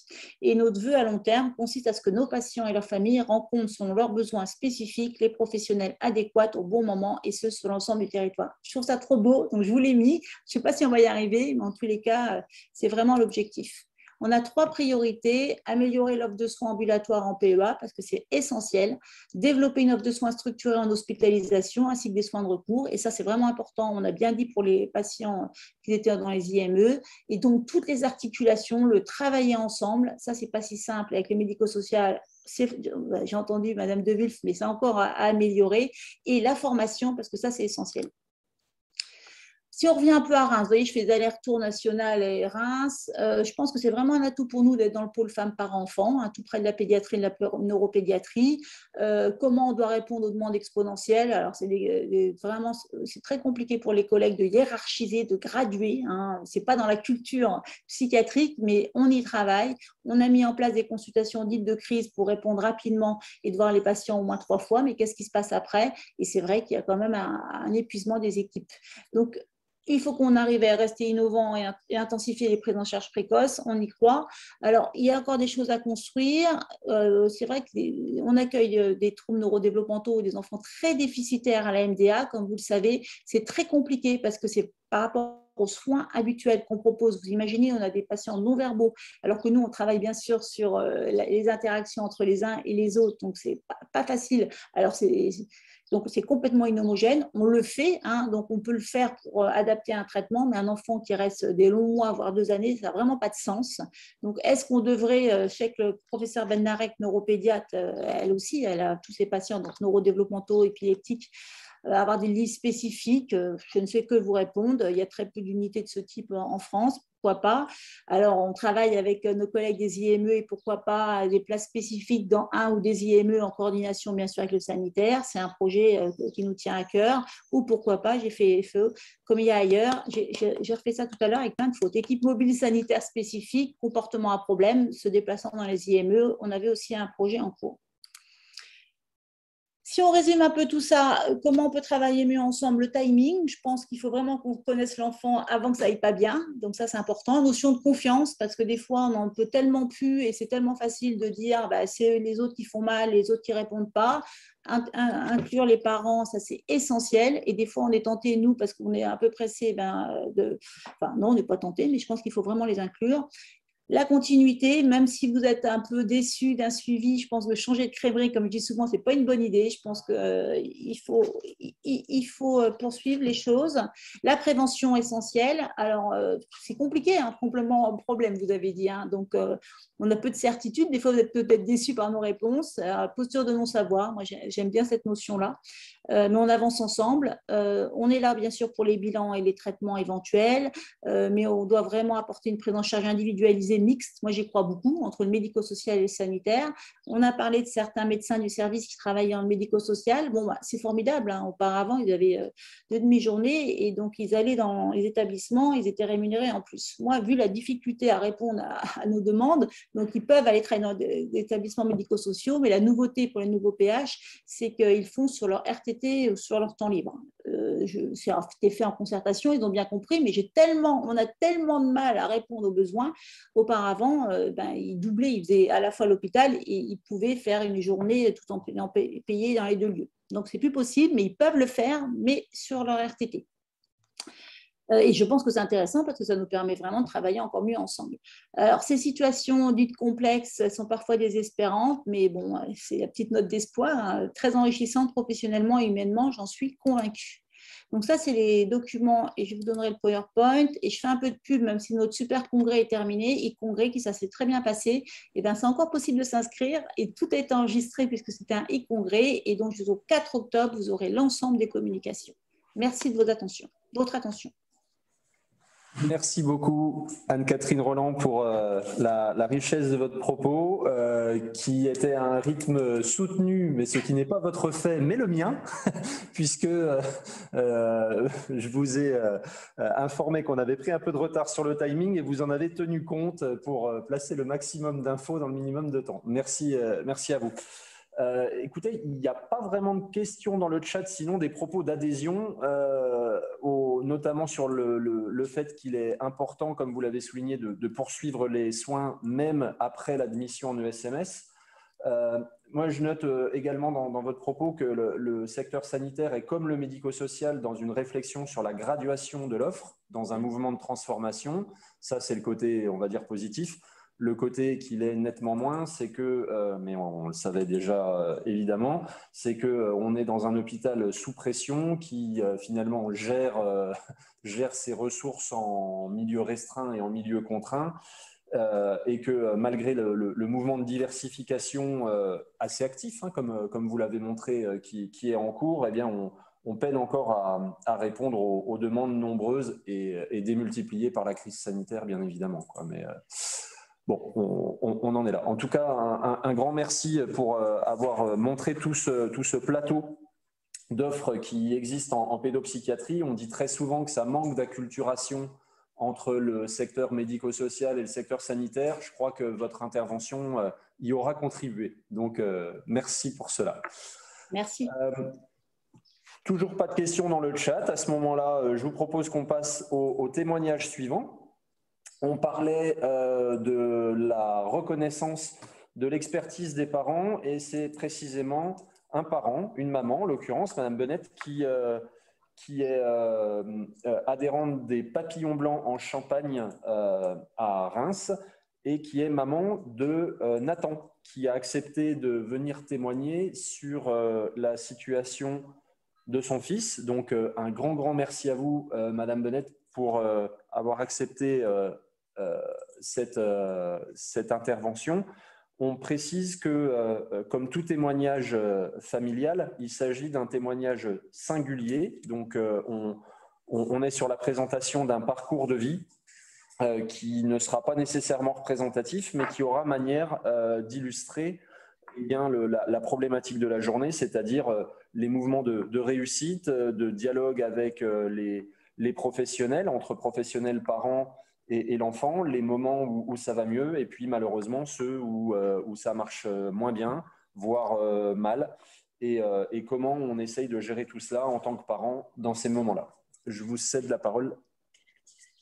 Ah, Madame Bennett, il faudrait que vous activiez votre caméra, si vous voulez bien. Alors, j'avais.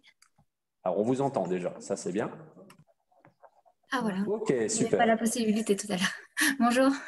Bonjour. À vous. Euh, bah, donc, euh, bah, vous m'avez déjà présenté. Donc, euh, je m'appelle Cynthia. Donc, je suis maman d'un petit garçon, Nathan, qui a eu 8 ans là au mois de mai.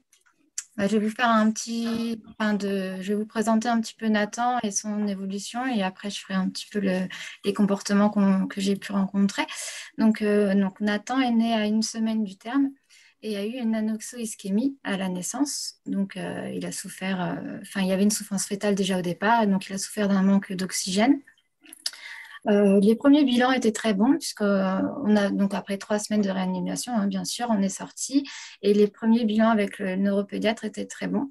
Donc, au début, on ne s'inquiétait pas. On a été quand même suivi par le CAMS donc à partir de la naissance, et puis c'était des examens de temps en temps. Et puis, vers 18 mois, 18-24 mois, euh, on s'est rendu compte qu'effectivement, Nathan ne marchait pas encore, qu'il y avait un retard euh, global. Euh, et donc, à, partir de ce moment-là, on a été suivi par le CAMS deux fois par semaine. donc jusqu'à ses 6 ans et maintenant on est suivi à l'IME donc éoline et avec un parallèle à la CITEL parce que Nathan, euh, et en plus de ça, Nathan, à partir de ses trois ans, euh, a, commencé ses crises d'épilepsie. Donc, euh, première crise d'épilepsie, comme tout parent, on a pensé que c'était dû à la, à la chaleur, à la température. Il avait eu un coup de chaud. Et puis, bon, bah, deuxième crise, il a fallu qu'on accepte. Hein. Il y avait en plus de son retard global, des crises d'épilepsie. Donc, en fait, chez Nathan, été des, donc la crise d'épilepsie et euh, en fait Nathan souffre de troubles du spectre autistique, donc il n'est pas vraiment euh, autiste, mais donc euh, vraiment c'est il a des caractéristiques. Nathan, donc à 8 ans aujourd'hui, ne parle pas encore. Il a certains mots comme papa, maman, certains sons, depuis, très, depuis très peu de temps et on commence à reconnaître des prénoms, notamment les personnes qui, qui, qui s'occupent de lui à l'IME. Donc euh, voilà, on entend des sons, mais c'est vrai qu'en fait, il a encore un manque, de tonus au niveau de la bouche, ce qui fait qu'il bave énormément, qu'il bave beaucoup. Euh, qu'il a des difficultés donc à, faire certains sons. à la maison, je le remarque, j'essaye de lui faire parler le haut. Le haut, c'est compliqué pour lui il a du, voilà, il a du mal à, à, parler, euh, donc il n'est pas encore propre. Euh, Nathan n'a pas du tout de notion de danger, c'est-à-dire que euh, tout ce qui, fait, il, est très. Nathan a vraiment des difficultés sur la motricité fine. Donc voilà, tout ce qui est appréhension, faire passer des perles dans un collier, déjà ça l'intéresse pas beaucoup et il a vraiment beaucoup de mal. Mais par contre, en motricité globale, il a vraiment toutes les capacités. Donc en fait, il a la, il a la possibilité, enfin voilà, s'il n'est pas content et qu'il veut quelque chose, il va chercher une chaise, il monte dessus, euh, il s'amuse dans les escaliers, il, voilà, il n'a vraiment pas la notion de danger, donc tout ce qui est chute, ça arrive constamment, ce qui fait qu'on est obligé d'être avec Nathan, c'est du présent à 100%. On est toujours, toujours derrière lui à le surveiller.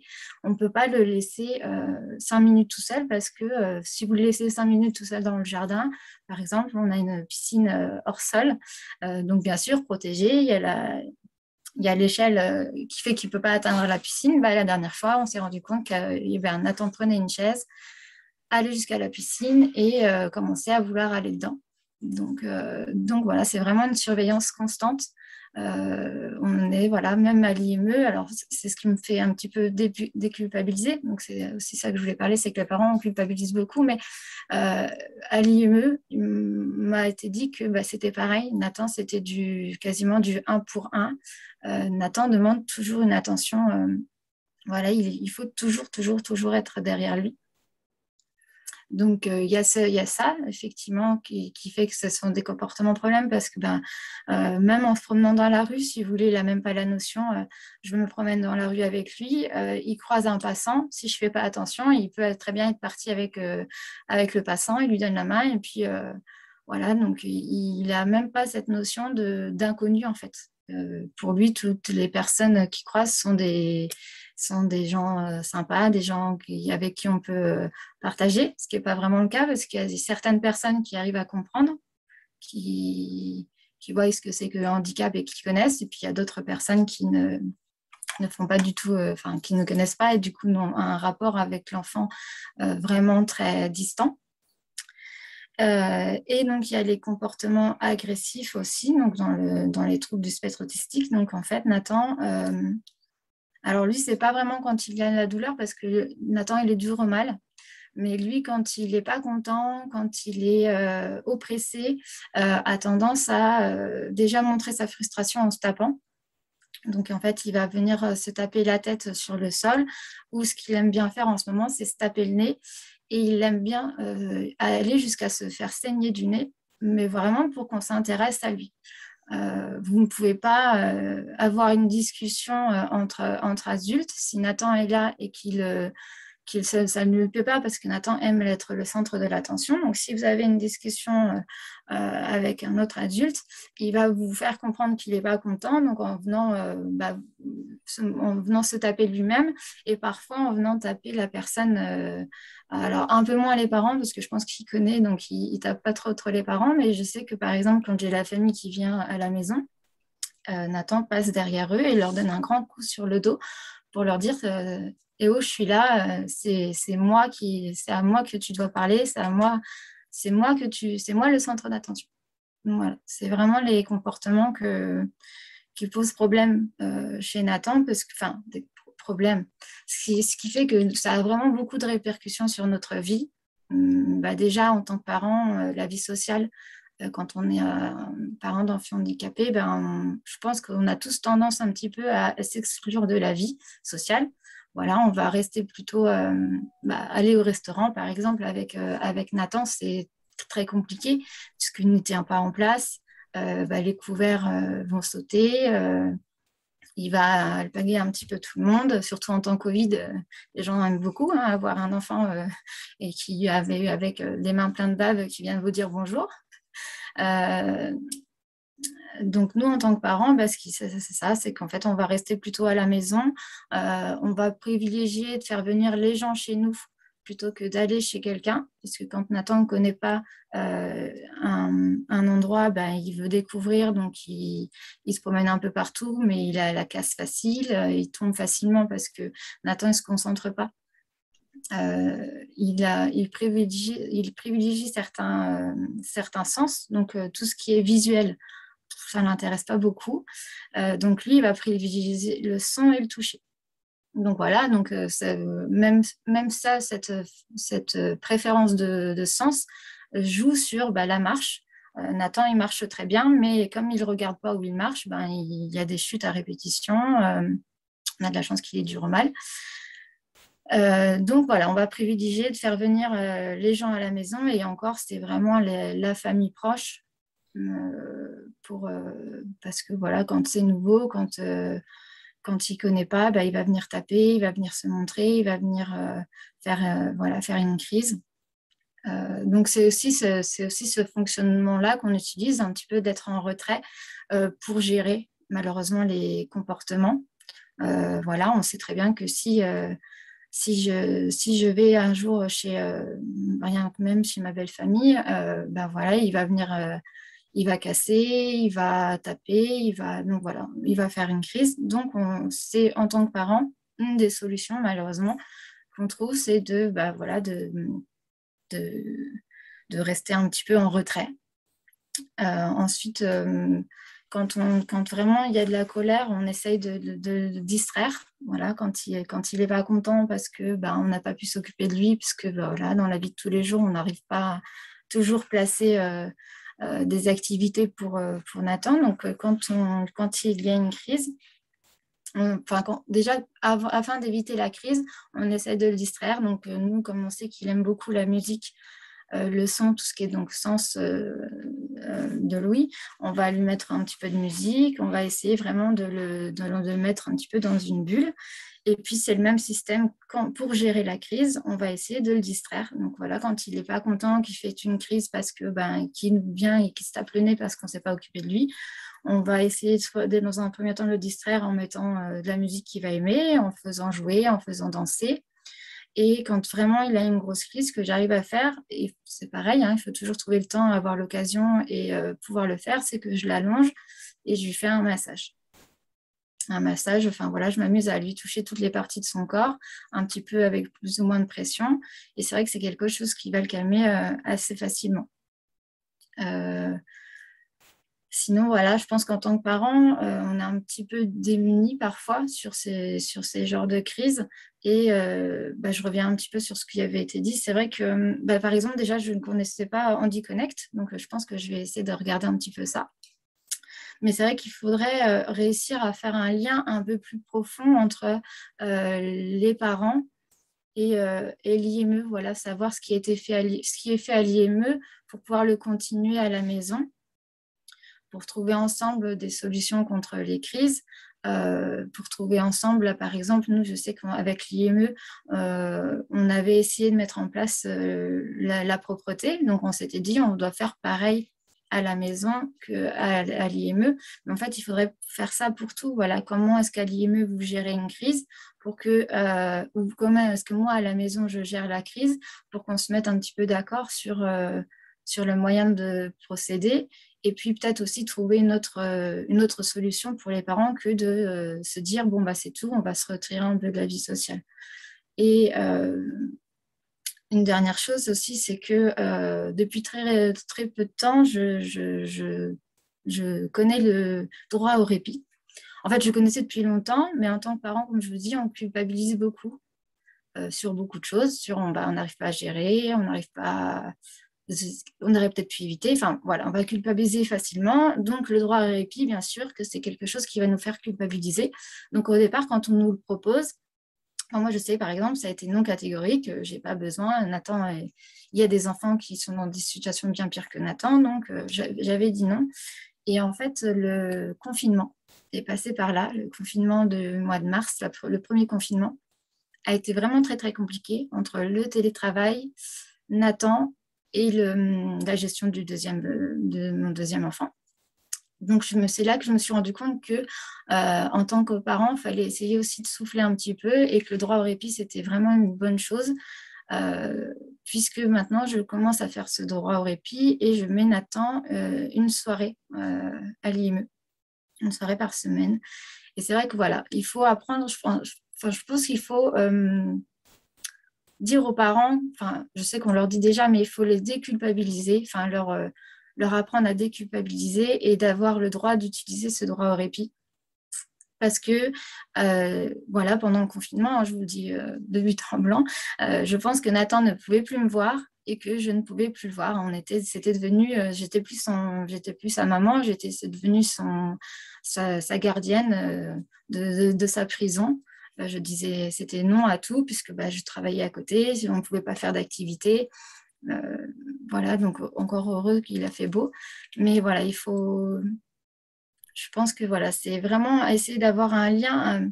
Alors, je sais que ce n'est pas toujours évident, mais vraiment entre l'IME et les aides voilà, l'hôpital, entre le, entre le, soignant, l'aidant et, la famille, avoir un peu plus de lien pour, réussir à gérer les crises ensemble et sur, de façon permanente plutôt que sur le moment. Voilà. Je ne sais, je sais pas si j'ai pu répondre à, à votre problématique.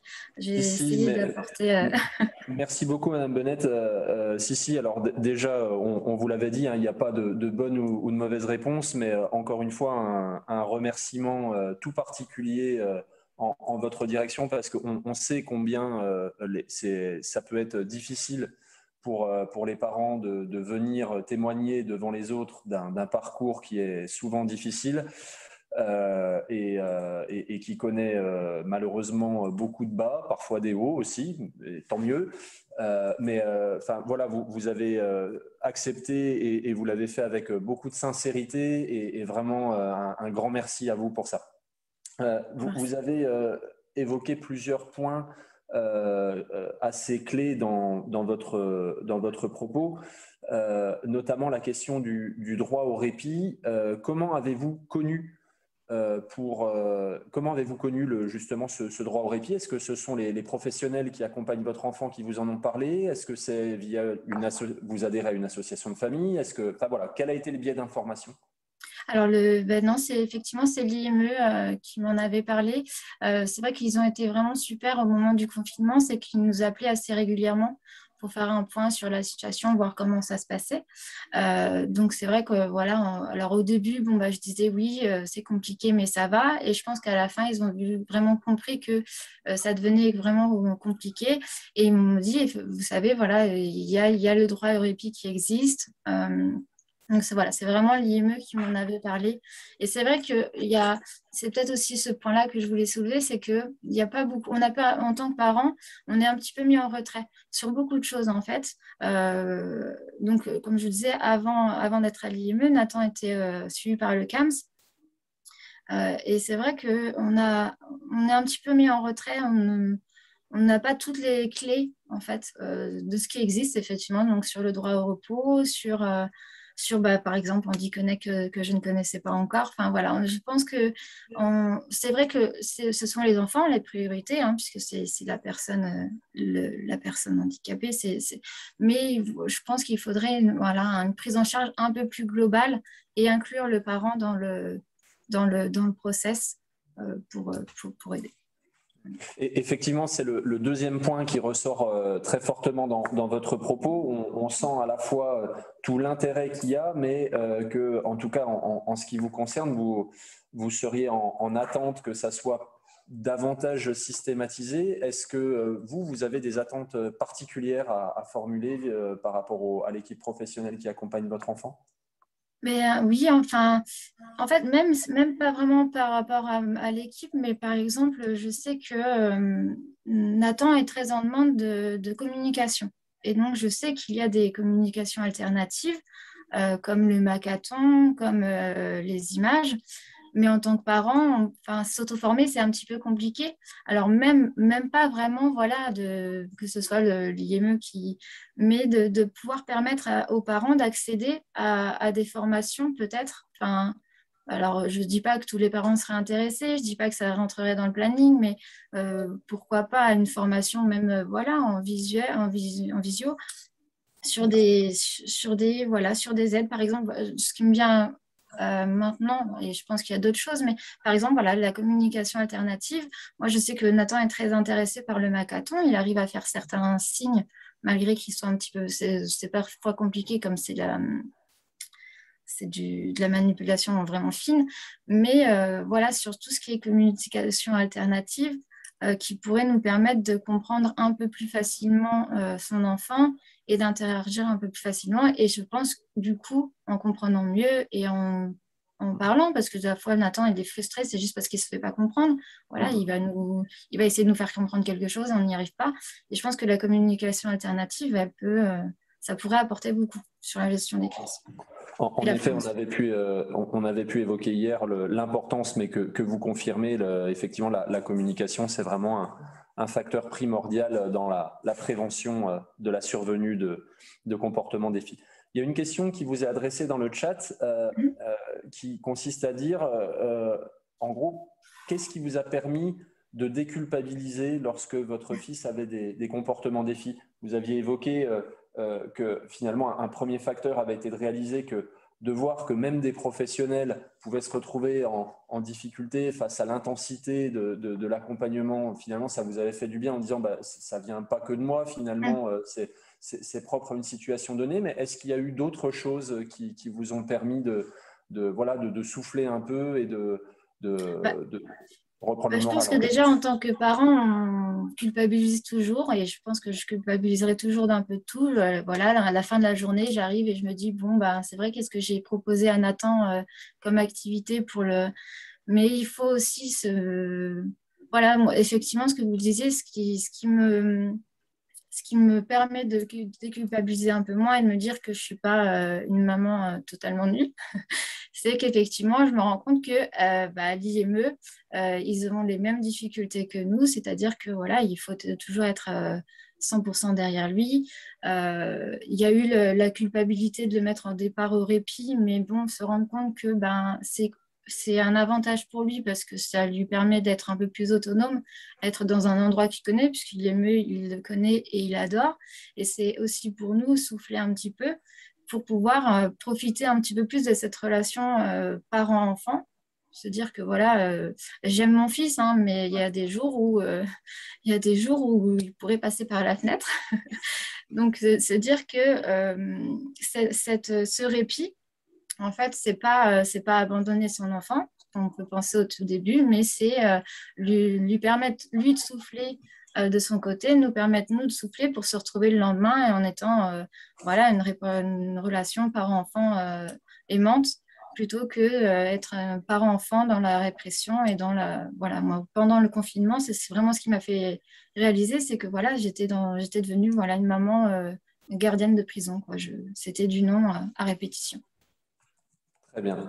Écoutez, vraiment encore une fois, un, grand merci pour votre témoignage. Je peux vous assurer que dans le chat, il y a, vraiment eu d'assez nombreux messages qui, euh, partagent euh, les remerciements euh, de, professionnels ou d'autres parents qui, disent combien c'est important d'avoir des, des, retours d'expérience tels que le vôtre, qui, permettent eux aussi aux professionnels de relativiser des situations de difficulté qu'ils peuvent vivre et, de, se rendre compte que bah, finalement, euh, celle des parents est, euh, parfois, c'est votre cas, et même souvent, euh, bien plus intense et rencontre des, difficultés bien plus durables que, celles que les, professionnels rencontrent eux. Donc, on voit en tout cas, enfin, voilà, votre intervention permet de dire que les professionnels vous ont permis de, de, gagner en sérénité, de déculpabiliser. Bah, vous déculpabilisez aussi des professionnels. Donc, voilà.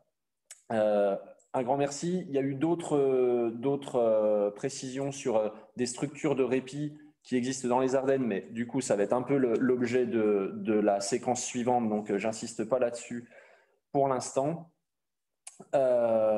et, d'autres témoignages sur l'importance du, dialogue permanent entre la structure qui accompagne et les parents que, vous avez cités. Alors, on sait que dans le cadre des, euh, voilà, des, instituts qui accueillent en journée. Les moyens peuvent euh, parfois euh, manquer pour ça, mais vraiment à charge des équipes professionnelles d'être imaginatives et de démultiplier les moyens pour faire en sorte que même, et tant mieux pour vous lorsque vous travaillez, et donc que vous n'avez pas forcément une disponibilité totale en journée, il puisse quand même y avoir des, des moyens de communication qui, qui passe. Euh, voilà. Alors, je voulais juste, bah, juste, rebondir sur le fait que, bah, vous, juste sur le fait que je travaille. Alors, effectivement, euh, ça a été un choix. Euh, alors, et, je voulais juste faire une petite remarque. Il est important de préciser aux parents qu'effectivement, ils ont la possibilité de faire un mi-temps, de faire un, de prendre, enfin même d'arrêter de travailler. mais il faut faire attention à ne pas euh, trop, trop. Enfin, moi, je sais que par exemple, quand euh, j'ai les premiers temps, quand j'étais suivie au CAMS, euh, plusieurs fois, on m'a fait la remarque, mais vous savez, vous avez la possibilité d'arrêter de travailler. Donc, c'est vrai que le premier, une fois, deux fois, on dit, ben non, c'est gentil, mais effectivement, je préfère garder une vie sociale pour, pour justement profiter un peu plus des instants en soirée avec, euh, avec mon enfant plutôt que bah, voilà, de jouer à la, à la maman soignante toute la journée et, et qu'à la fin, il ne puisse pas me voir et que, que ce soit compliqué. Alors, c'est vrai qu'il est bien de préciser les droits des parents, mais de ne pas trop insister parce que c'est vrai que pendant un moment, ça m'a... Comme je vous ai dit, hein, les, parents culpabilisent pour tout et pour rien. Et à la, à la fin, je me disais, bah mince... Euh, euh, est-ce que je devrais m'arrêter? Euh, Est-ce que euh, je suis une mauvaise maman de ne pas m'arrêter? Alors, il faut, voilà, il faut préciser que les parents ont le droit, mais ils ont aussi le droit de continuer à travailler et d'avoir une vie sociale à côté. Merci pour ce rappel ô combien essentiel sur la, qualité de vie parentale qui, contribue également à, celle de l'enfant. Merci à vous, Madame Bennett. Merci. Et à, très bientôt, on espère. On va passer euh, à la table ronde. Ah non, pardon, une dernière, un dernier message à votre attention euh, et puis à ceux des, éventuels autres parents qui seraient autour de, la webcam. Euh, dans le cadre du centre ressources autisme, il y a justement, vous parliez d'acquérir des compétences, il y a des formations de proposer aux proches aidants et il y en aura une sur la communication et ce, dès le second semestre 2021. Donc, on, vous invite à vous rapprocher euh, du, site du, CRA ou à écrire au CRA tout simplement pour avoir des, renseignements à cet égard. Euh, ces formations sont gratuites et euh, si elles vous amènent à vous déplacer, les frais de transport sont pris en charge. ces formations sont mises en, en, place dans le cadre de la stratégie nationale TSA-TND. donc, vraiment, n'hésitez pas et n'hésitez pas à faire passer le mot autour de vous aux autres parents qui, qui le souhaiteraient, euh, elles, sont vraiment prévues pour vous. D'accord. Voilà. Cette précision étant effectuée, on, va passer donc à la dernière table ronde euh, de notre webinaire, euh, qui est les, appuis qu'on peut retrouver. Donc, on a, on a évoqué l'hôpital comme ressource tout à l'heure, mais il y a d'autres structures qui peuvent faire ressources, et notamment, on le disait, les structures de répit ou les structures qui vont disposer d'une d'une expertise euh, particulière. Et dans le cadre de cette ronde, on va donc accueillir successivement euh, le DEPAMS avec euh, l'équipe du foyer Répit, Madame Gruzel, sa chef de service, et Madame Lamblot, qui est coordinatrice. Anastasia Brasseur, qui est coordinatrice du projet Résalliance dans les Ardennes encore, et Elodie Lagache, coordinatrice technique de l'équipe relais Handicap. Alors, pour la première manip euh, je vais faire glisser la caméra euh, de l'autre côté, puisque l'équipe de l'EDEPAMS nous a fait le plaisir de nous rejoindre en présentiel. Et je vais donc zoomer sur elle en espérant que vous les voyez bien. Voilà. Donc, euh, bah, bienvenue à vous. Et euh, si c'est plus confortable pour vous et que vous en êtes d'accord, vous pouvez faire tomber le masque pendant votre intervention. On sait que c'est pas c'est pas forcément commode. Euh, et donc, je vais vous demander de bien vouloir présenter le, le projet qui, est, qui est celui du foyer de répit, dans quelles conditions on peut le, le solliciter, et puis bah, voilà, par rapport à la problématique qui est la nôtre, en quoi ça constitue une réponse d'appui pour euh, eh bien, atténuer euh, les comportements des filles. Je vous cède la parole.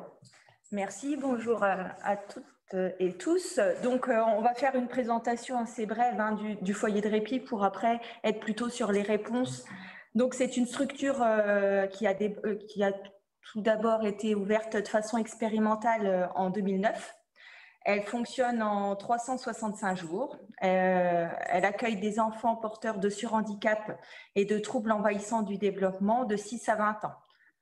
En 2014, euh, il y a eu l'autorisation de fonctionnement dite de, euh, dite de, répit pour cette structure dite de répit en, lien avec l'objectif stress du SROSM qui, stipule soutien et accompagnement des familles avec possibilité d'avoir des temps de répit et de distanciation.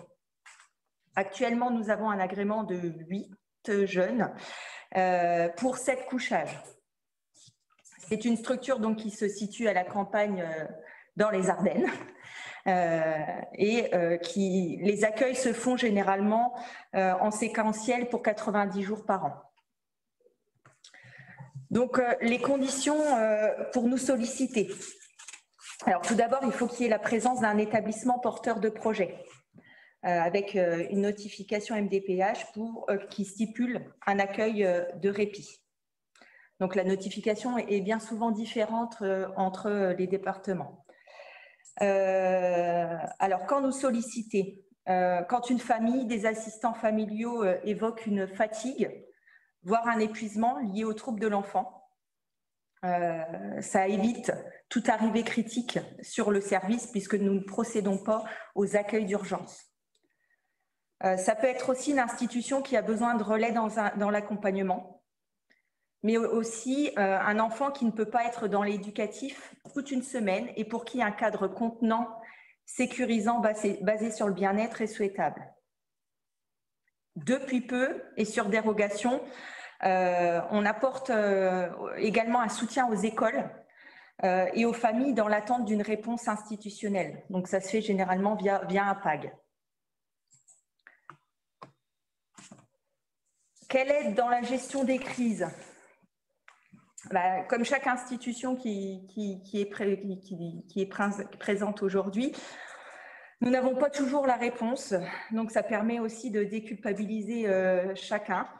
Euh, mais le partage des difficultés, les échanges, le croisement des observations et le soutien mutuel permet à chacun de proposer un accueil de qualité et éviter les ruptures lorsque l'on se retrouve seul face à une situation complexe.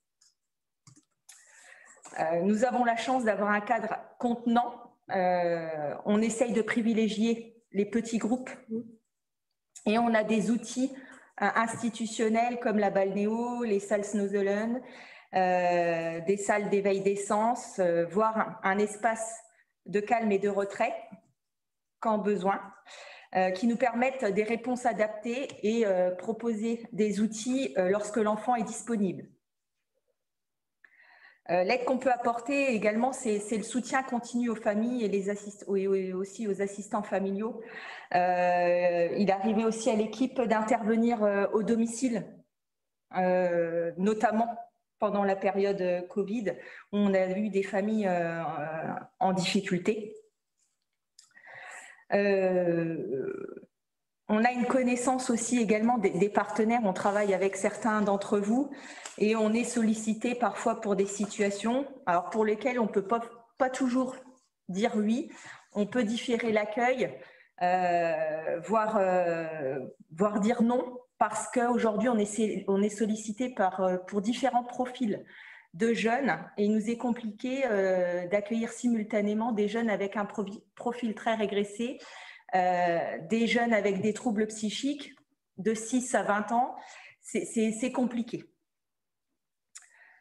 Euh, donc, on, fait appel aussi ben voilà, à, nos partenaires, au réseau qu'on a tissé depuis euh, maintenant plus de 10 ans pour faire du lien, pour proposer des solutions tant aux établissements qu'aux familles je crois qu'aujourd'hui, euh, ben, même les MDPH nous sollicitent pour avoir un regard euh, sur des situations et, voir euh, les solutions qui pourraient être les plus adaptées.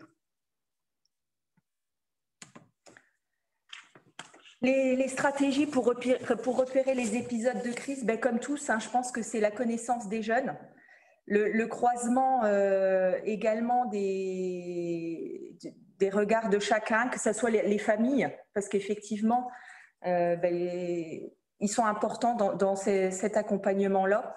Et euh, ben, en croisant euh, voilà l'expérience de, chacun, le, regard averti des différents professionnels, je dirais, puisque nous, on a une, une équipe essentiellement d'aides-soignants et d'AMP.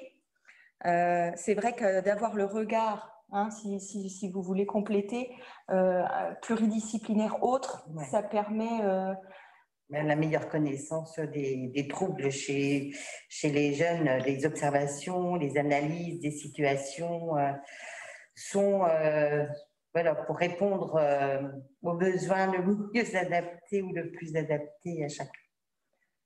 Il y a la prise en compte aussi des douleurs somatiques qu'on fait de, de plus en plus avec euh, ben, la mise en place d'outils, hein, de grilles d'observation aussi, euh, qui nous permettent euh, de déceler voilà, certains moments où, on est face à de la douleur.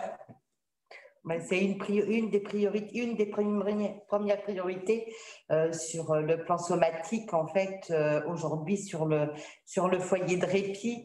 Euh, dès qu'un enfant euh, développe euh, ou un jeune hein, ado développe un trouble du comportement qui nous est complètement qui, n'est pas anodin en fait hein. on voit des pleurs des larmes des cris qu'il se mord on va tout de suite regarder au somatique s'il a de la température s'il y a un point douloureux quelque part parce qu'ils n'ont pas la communication s'expriment pas pour la plupart du temps. Et euh, donc, c'est vraiment les facteurs euh, somatiques qui sont tout de suite euh, abordés au sein de l'équipe pour, pour pallier aux troubles du comportement ou aux troubles problèmes. Mmh. Hein. Et moi, je voulais compléter, mais je pense que ça va rejoindre le propos du, docteur euh, Gendreau de, tout à l'heure autour de d'aider les familles au mieux euh, dans la facilitation de l'accès aux soins. Parce que voilà, on se rend compte que, que pour les familles, souvent, c'est très compliqué. Donc, ça peut être euh, de leur proposer tout simplement un accompagnement, donc d'être là lors des rendez-vous ou d'orienter vers, euh, vers les professionnels euh, voilà, qui seraient identifiés avec lesquels on a l'habitude de travailler, où le, le, contexte peut être adapté, de limiter le temps d'attente, de, voilà, de, je voyais tout à l'heure le gaz mais enfin, voilà, il y, a, il y a plein de choses qui existent, mais parfois le parent est, aussi, ben, je trouve, seul et démuni dans, dans, dans, dans, permettre un accès aux soins à son enfant. Et ça paraît d'être une condition essentielle.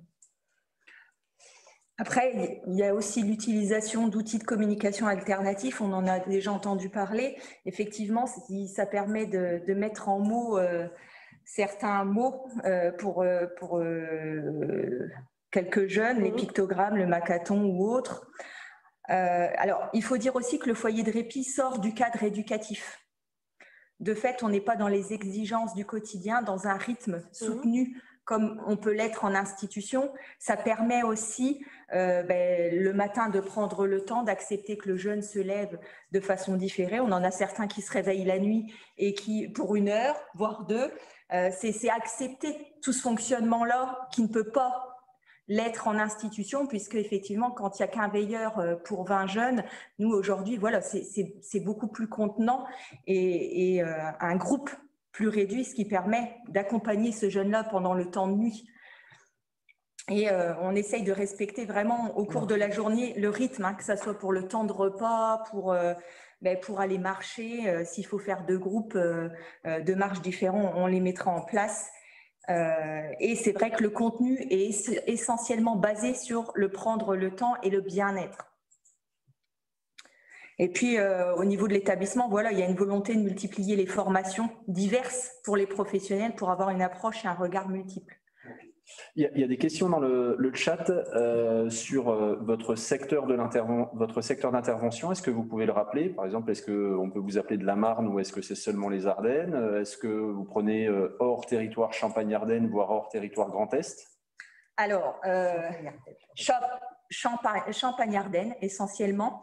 Effectivement, il nous arrive d'accompagner des, jeunes hors du département mais euh, c'est déjà arrivé aussi euh, de la Champagne-Ardenne. Mais on essaye de rester vraiment à proximité parce que les temps de route pour ces jeunes-là sont assez conséquents. Hmm. Et, parfois compliqués. Et, parfois compliqués aussi, hein, où il faut mettre en place différents supports avec un taxi spécialisé.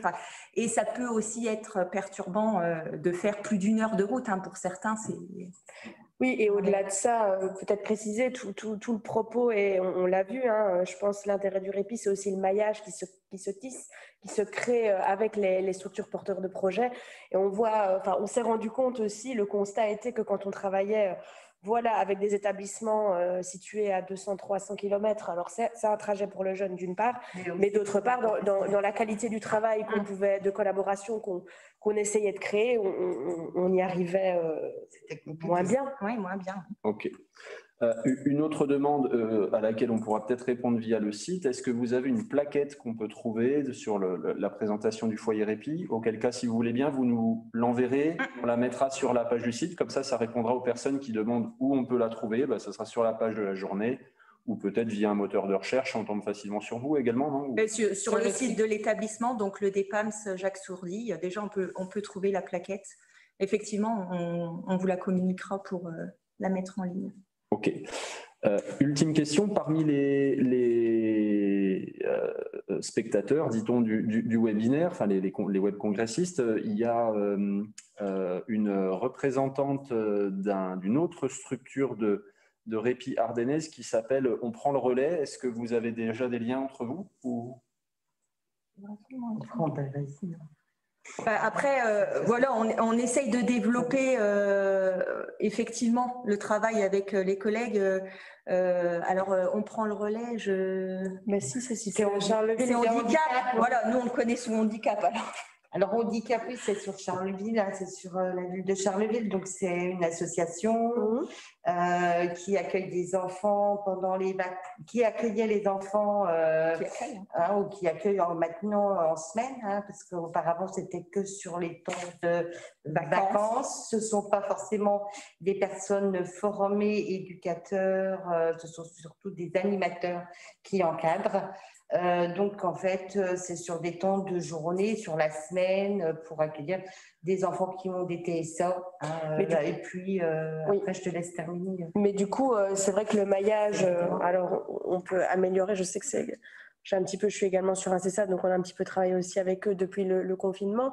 Mais c'est vrai qu'on a des jeunes pour qui le maillage, en effet, voilà, on a un emploi du temps finalement qui se veut, on va dire, à, la carte, mais en tout cas au plus près des besoins du jeune, avec euh, un accueil en IME, euh, un accueil à handicap euh, sur les temps, voilà, un accueil dans le, secteur sanitaire, et puis des temps de répit, quoi. Donc au final, on, et, le but c'est de, coordonner tout ça et pour des situations complexes, on voit que finalement, c'est à plusieurs, encore une fois, que les choses. Euh, et puis bon, ça peut être aussi un soutien aux familles qui n'ont pas forcément euh, un établissement, euh, qui sont dans l'attente pour leur enfant d'un établissement médico-social aussi.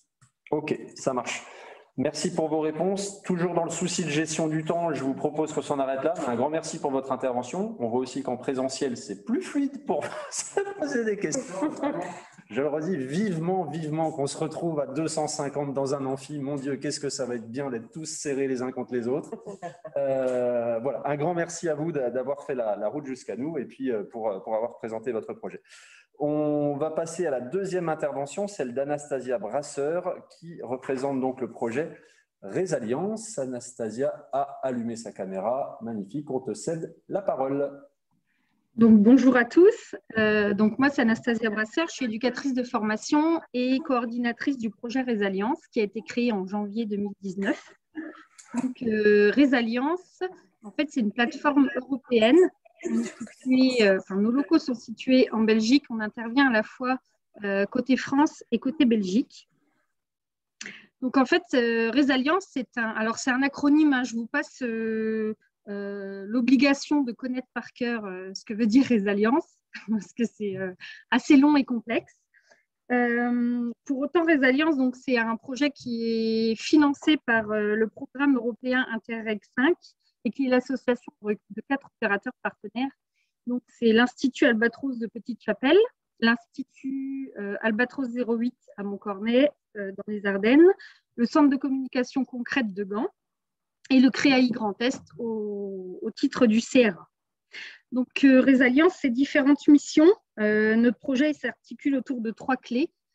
Euh, on essaye de voir, euh, d'apporter des clés de compréhension par rapport aux spécificités de l'autisme.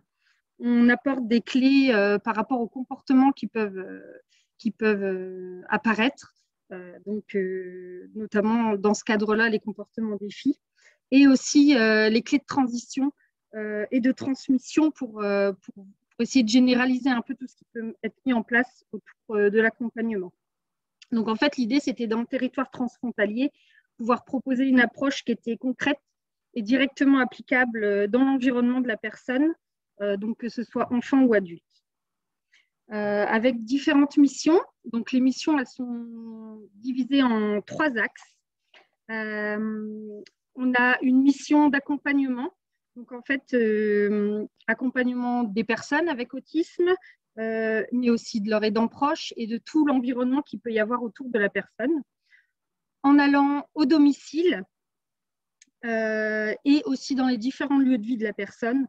L'idée, c'est de comprendre les difficultés, d'intervenir autour d'une problématique particulière et de proposer des outils euh, qui, puissent mettre, qui puissent être mis en place directement sur le lieu de vie, sur les différents lieux de vie et en partenariat avec tous les intervenants.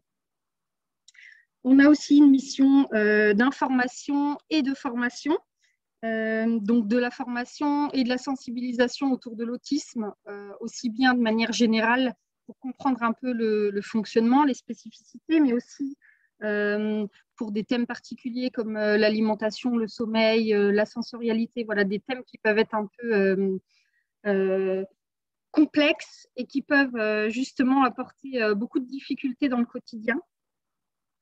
Et enfin, le dernier axe du projet, c'est ce qu'on a appelé l'autismothèque. Donc, l'autismothèque, c'est un, un, lieu ressource où on a des ouvrages qui sont, qui sont dédiés à l'autisme et aussi tout ce qui est matériel spécifique. Donc, ça peut aller du casque anti-bruit à la couverture lestée, euh, voilà. Vraiment basé beaucoup autour du sensoriel, mais aussi de, toutes les, de toutes les structurations qui peuvent être mises en place, que ce soit en termes d'espace, de, temps, euh, voilà. Euh, donc, l'idée, c'est qu'on met en prêt gratuit des familles, des professionnels, pour qu'ils puissent euh, essayer, voir si ça fonctionne, si ça peut résoudre certaines difficultés avant qu'ils envisagent éventuellement d'acheter. Alors, à qui s'adresse le, projet Résalience eh ben, En fait, on s'adresse évidemment aux personnes avec autisme, donc de tout âge et tout type d'autisme. Donc, on accompagne aussi bien des personnes euh, avec une déficience intellectuelle que des personnes euh, qu'on disait auparavant de type Asperger évidemment les familles, les aidants proches. Et puis, euh, l'idée, c'est vraiment d'étendre à tout l'environnement de la personne, euh, l'école, le travail, les loisirs, vraiment euh, voilà, l'environnement global, toutes les personnes qui, à un moment donné, peuvent être touchées de près ou de loin par l'autisme. Donc, la plateforme, elle a vocation à être vraiment ressource pour les familles et pour les professionnels et tremplin autour d'une difficulté particulière. Donc, soit on fait appel à nous et on vient euh, essayer de décortiquer une situation pour lesquelles euh, il y, a, vraiment de grosses difficultés qui sont rencontrées. Et euh, soit on est un peu tremplin dans, eh ben, parfois ça peut être l'accompagnement au diagnostic, remplir le dossier MDPH, ou encore vraiment la difficulté des familles pour les familles de faire le tri autour de toutes les informations qu'elles peuvent trouver, notamment, je pense à toutes les informations qui peuvent être disponibles sur le web, c'est vrai que parfois faire le tri pour les familles, c'est difficile. Et du coup, d'être accompagné par des personnes qui peuvent un peu guider en fonction du profil de l'enfant, ça peut vraiment euh, être quelque chose de rassurant. Donc nous, on n'a pas vocation normalement à faire de l'accompagnement sur du long terme. Euh, c'est-à-dire que l'idée, c'est de créer vraiment euh, un partenariat avec tous les dispositifs qui sont déjà existants, de venir en soutien et en appui de ces dispositifs et euh, un petit peu le relais entre les familles et, les différentes institutions. Euh, alors, pour étayer un petit peu le propos et puis rester dans, voilà, dans, le thème d'aujourd'hui, c'était comment s'appuyer sur les ressources et puis éviter les ruptures de parcours. Donc, j'ai choisi de, de, vous exposer brièvement, je sais que le temps est compté, euh, une situation qu'on avait rencontrée, donc c'est un jeune homme de 21 ans, qu'on va appeler Mathieu, euh, jeune adulte de 21 ans qui est accueilli en IME. On est appelé par la famille euh, parce que Mathieu n'est pas propre et il accepte de faire ses besoins uniquement dans la baignoire sous un jet d'eau. Donc, euh, ce qui est très compliqué, c'est qu'en accueil IME, forcément, vous vous rendez bien compte que euh, le passer sous la douche euh, plusieurs fois par jour pour lui permettre de faire ses besoins ben, dans un collectif, c'est très compliqué. Et puis, ce n'est pas une situation à long terme pour son bien-être à lui, pour tout ce qui est vie sociale autour de la famille. Donc, de grosses difficultés au niveau des transports, plus de possibilités de repas à l'IME puisque et d'accueil en internat, puisque euh, la structure et l'organisation d'IME ne permettaient pas de pouvoir répondre à ces besoins. Euh, pour les familles, évidemment, euh, pas de sortie familiale, plus de départ en vacances, parce que c'était très compliqué. Donc, au-delà de ça, le mal-être du jeune, de la famille, de l'équipe qui pouvait l'encadrer et qui, du coup, était limitée dans ses actions, avec toutes les tensions qu'il pouvait y avoir autour. Et donc euh, des troubles qui se manifestaient par de la violence, puisque euh, se retenant pour ne pas faire ses besoins sur lui et n'ayant pas la possibilité d'être accompagné plusieurs fois par, euh, jour sous la douche, eh ben, cela se traduisait chez ce jeune homme par de la violence être très très importante, à la fois envers les professionnels, mais aussi envers les autres jeunes du groupe. Donc, les actions qui ont été faites par Résalliance, c'était ben, d'élaborer un profil sensoriel en fait, pour tout vous dire, nous, euh, l'idée, c'est d'aller vraiment observer au niveau euh, milieu naturel, entre guillemets naturel, euh, voilà, comment concrètement ça se passe. Dans les faits. Donc, on est allé observer à la maison comment ça se passait et on s'est dit, oh, mais là, c'est vraiment sensoriel. Donc, on a établi un profil sensoriel. on a été recueillir des informations, donc évidemment auprès de la famille, mais aussi auprès des professionnels qui pouvaient l'accompagner au quotidien, parce que c'est vrai que comme ça a été dit précédemment, c'est vraiment une ressource qui est importante. C'est eux qui connaissent le mieux le jeune. c'est important vraiment d'aller explorer aussi ce qui a pu être déjà mis en place pour repartir sur des choses euh, bah, peut-être un peu, euh, un peu nouvelles et novatrices, apporter un regard extérieur. Donc l'idée, c'est d'aller observer, de réaliser tout ce qui est bilan autour, de réaliser un protocole, de mettre en place l'outil à la maison sous forme de guidance parentale, de pouvoir partager euh, les, bah, les, difficultés par rapport à la mise en place de ces outils ou les réussites. Donc là, en l'occurrence, la propreté a été acquise en trois semaines et a pu généraliser partout. Donc, c'est vrai que c'était vraiment euh, une expérience qui a été euh, très valorisante à la fois pour les, pour les familles et puis euh, pour l'équipe. et ensuite, l'idée, c'est vraiment de pouvoir généraliser dans les différents milieux de vie. C'est pour ça que la collaboration avec l'IME qui l'accueillait a été aussi très, très importante pour que ça puisse se faire de manière coordonnée dans tous les lieux de vie de l'enfant. Donc, en fait, on a apporté des clés, un nouveau regard, un regard extérieur et surtout, on a pu euh, se rendre compte dans le réel comment ça pouvait se mettre en place et dans l'utilisation de l'outil. Euh, en fait, on se rend compte dans, beaucoup d'endroits où on voit que les outils existent, ils sont euh, souvent connus, mais parfois, c'est plutôt dans l'exploitation, dans l'utilisation de l'outil que c'est un peu plus compliqué, notamment quand c'est des grosses équipes, qu'il faut harmoniser les pratiques, il y a un souci de cohérence. Donc là, vraiment, c'est un rôle euh, qu'on a aussi dans le cadre de Résalience. Alors, on n'a pas fait de miracle, hein, tout ce qui avait été fait euh, préalablement par les équipes et par la famille, évidemment, c'était des facteurs de, réussite supplémentaires. Euh, ça a été pris en compte dans, cet accompagnement. Mais tout ça pour dire que vraiment l'important, et ça a été dit par les personnes avant moi, donc je vais être assez rapide là-dessus parce que je pense que tout le monde l'a bien compris.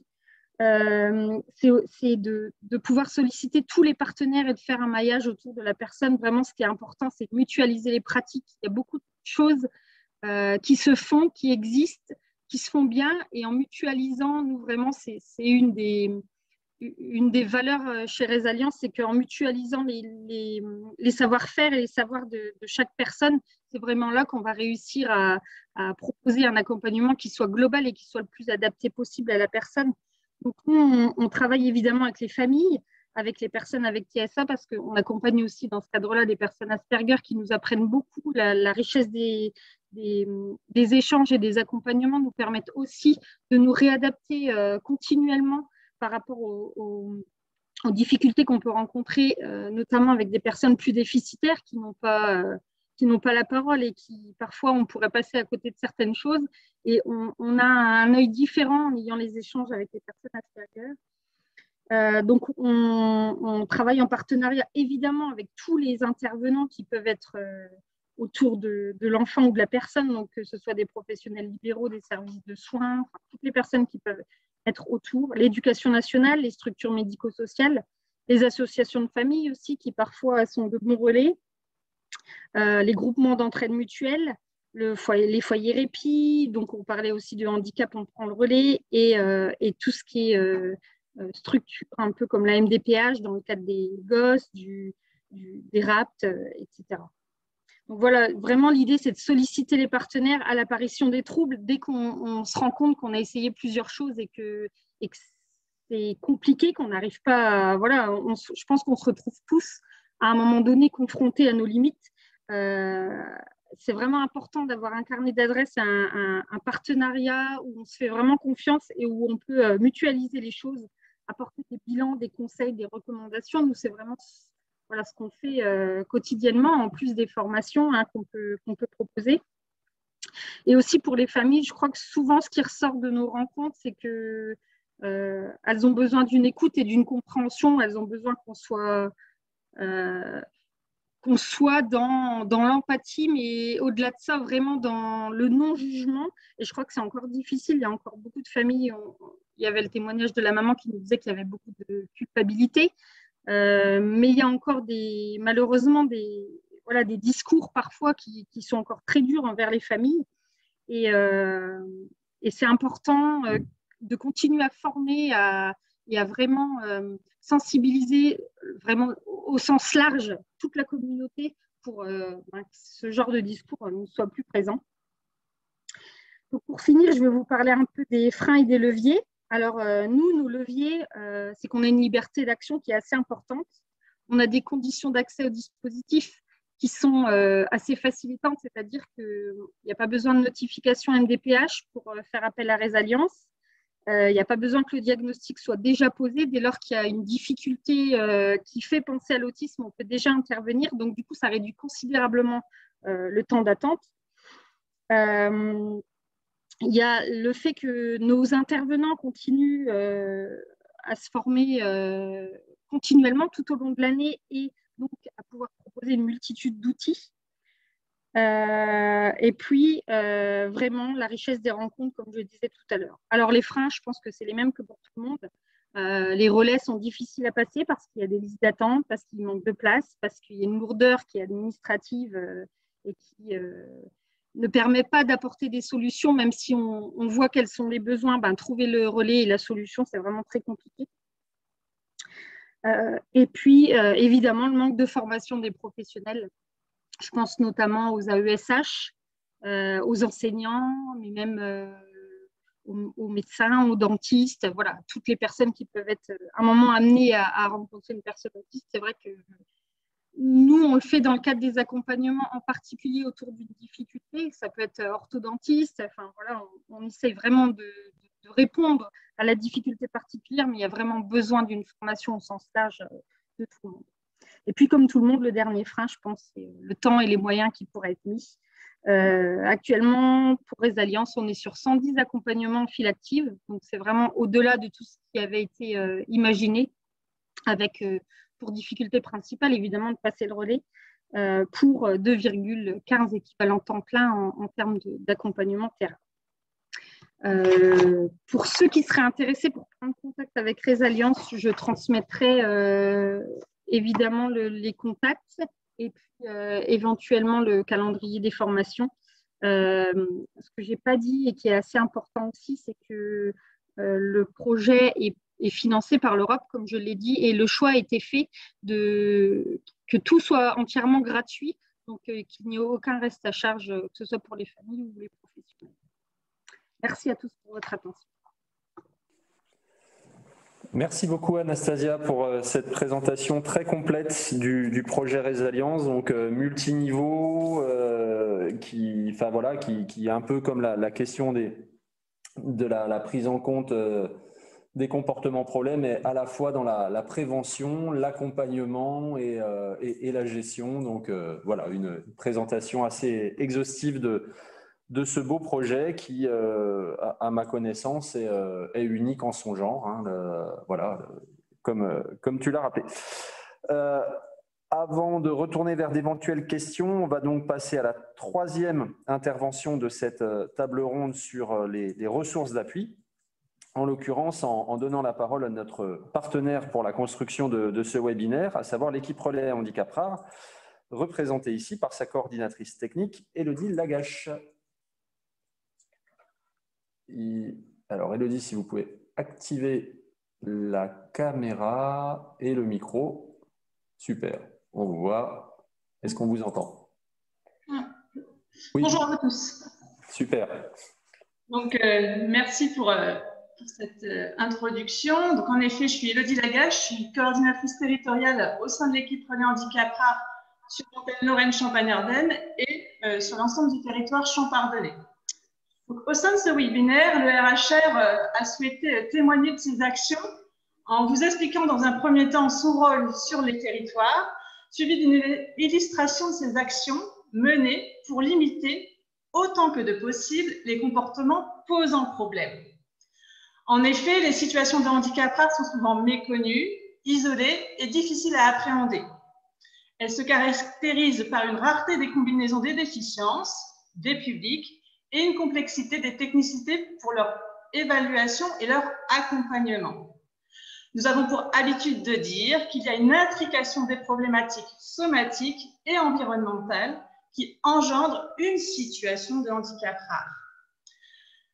Le constat que l'on fait, c'est que les acteurs concernés ne détiennent pas toutes les compétences, les ressources nécessaires pour apporter une réponse globale aux besoins de la personne en situation de handicap rare. L'un des principaux enjeux de l'organisation déployée en dispositif intégré est ainsi d'accompagner les personnes dans l'expression de leurs choix et pour leur projet de vie, et que ceci soit porté par l'ensemble des professionnels. Donc, on est vraiment dans une notion au niveau des équipes relais handicap rare de dispositif intégré. Donc, c'est un mot euh, très particulier qui a l'ambition de coordonner des actions en faveur des personnes en situation de handicap rare pour notre, notre dispositif, mais euh, de déployer des actions vraiment euh, pour répondre aux besoins de façon très très large, en dépassant vraiment euh, les frontières, j'oserais dire, et en décloisonnant. Et cet objectif du dispositif intégré, c'est vraiment d'éviter l'errance des familles et l'inadaptation des accompagnants, des accompagnements. Le, le fait d'être en dispositif intégré, c'est également limiter autant que possible donc, ces ruptures de parcours en ambitionnant euh, de garantir une réponse harmonisée et collective à toute personne en situation de handicap rare. Et puis, l'un des derniers objectifs de ce système en intégration est vraiment d'apporter un appui aux ressources existantes et proposer un environnement propice aux dynamiques de décloisonnement des interventions des différents professionnels de l'accompagnement. Ce dispositif euh, intégré, euh, dans lequel s'inscrit aujourd'hui l'accompagnement des personnes en situation de handicap rare, entraîne automatiquement des évolutions en matière d'organisation et des pratiques professionnelles. Son déploiement sur les territoires passe nécessairement par des étapes de construction, d'adhésion à des nouvelles pratiques et d'accord sur des principes communs, mais également sur la mise en place de modalités et d'outils de travail partagés. S'appuyant sur le cadre d'une responsabilité partagée et d'une qualité de service rendue aux personnes et dans l'intérêt des familles, cette méthode innovante de l'intégration pour le secteur médico-social nécessite donc de développer des logiques de décloisonnement d'intervention, de renforcer les liens entre les professionnels et les organisations, et également d'assurer la concertation des acteurs au cours de la construction d'une réponse fondée et adaptée à la personne en situation de handicap rare. Pour mieux répondre aux besoins de ces situations spécifiques, le dispositif intégré se déploie grâce à différents acteurs qui sont d'ordre nationaux, interrégionaux, régionaux, locaux mobilisés. Au travers du maillage territorial que leur localisation apporte, ils concourent tous ensemble aux interactions des expertises requises autour de chaque situation, à chaque étape du parcours de vie. Donc, nous intervenons de zéro à, la fin de vie de la personne afin de l'accompagner. cette notion donc, euh, de, travail en intégration avec des différents acteurs fait que nous nous, appuyons sur de nombreuses ressources.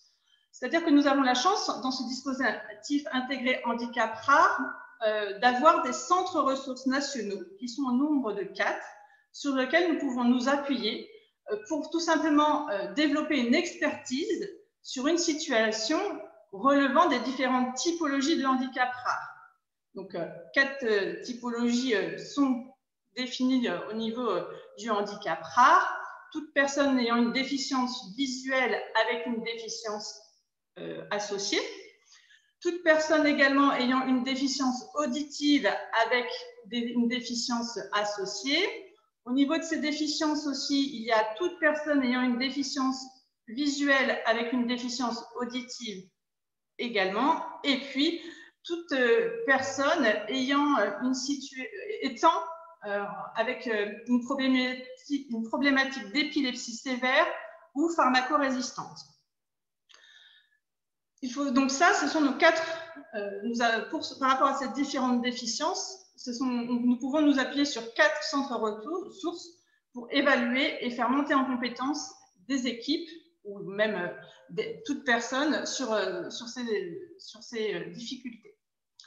Au niveau régional, il faut savoir qu'il y a 12 équipes relais handicap rares qui s'appuient également sur l'ensemble de ces ressources nationales, régionales, départementales et locales pour développer une dynamique de coopération avec l'ensemble des acteurs. Nous, directement, en tant qu'équipe Prenez Handicap Rare, euh, on, a, vraiment, on, a une multitude de, compétences qui sont développées euh, et on s'appuie essentiellement au niveau des ressources, bah, déjà sur la personne en situation de handicap rare, parce que c'est elle avant tout qui peut le mieux nous communiquer euh, ses besoins. Nous appuyons également sur les familles, sur les professionnels des euh, du secteur social, du secteur médico-social, sanitaire, les associations de familles. Et notre mission est de vraiment euh, coordonner tous ces acteurs pour construire un projet de vie adapté et répondre aux besoins de la personne en situation de handicap rare tous ces, différents partenaires que sont les centres ressources nationaux handicap rare et les équipes relais handicap rare sont soutenus par le groupement national de coopération du handicap rare qui anime les réseaux des acteurs du handicap rare. Et il faut également savoir que la CNSA et la DGCS assurent conjointement le pilotage du dispositif intégré.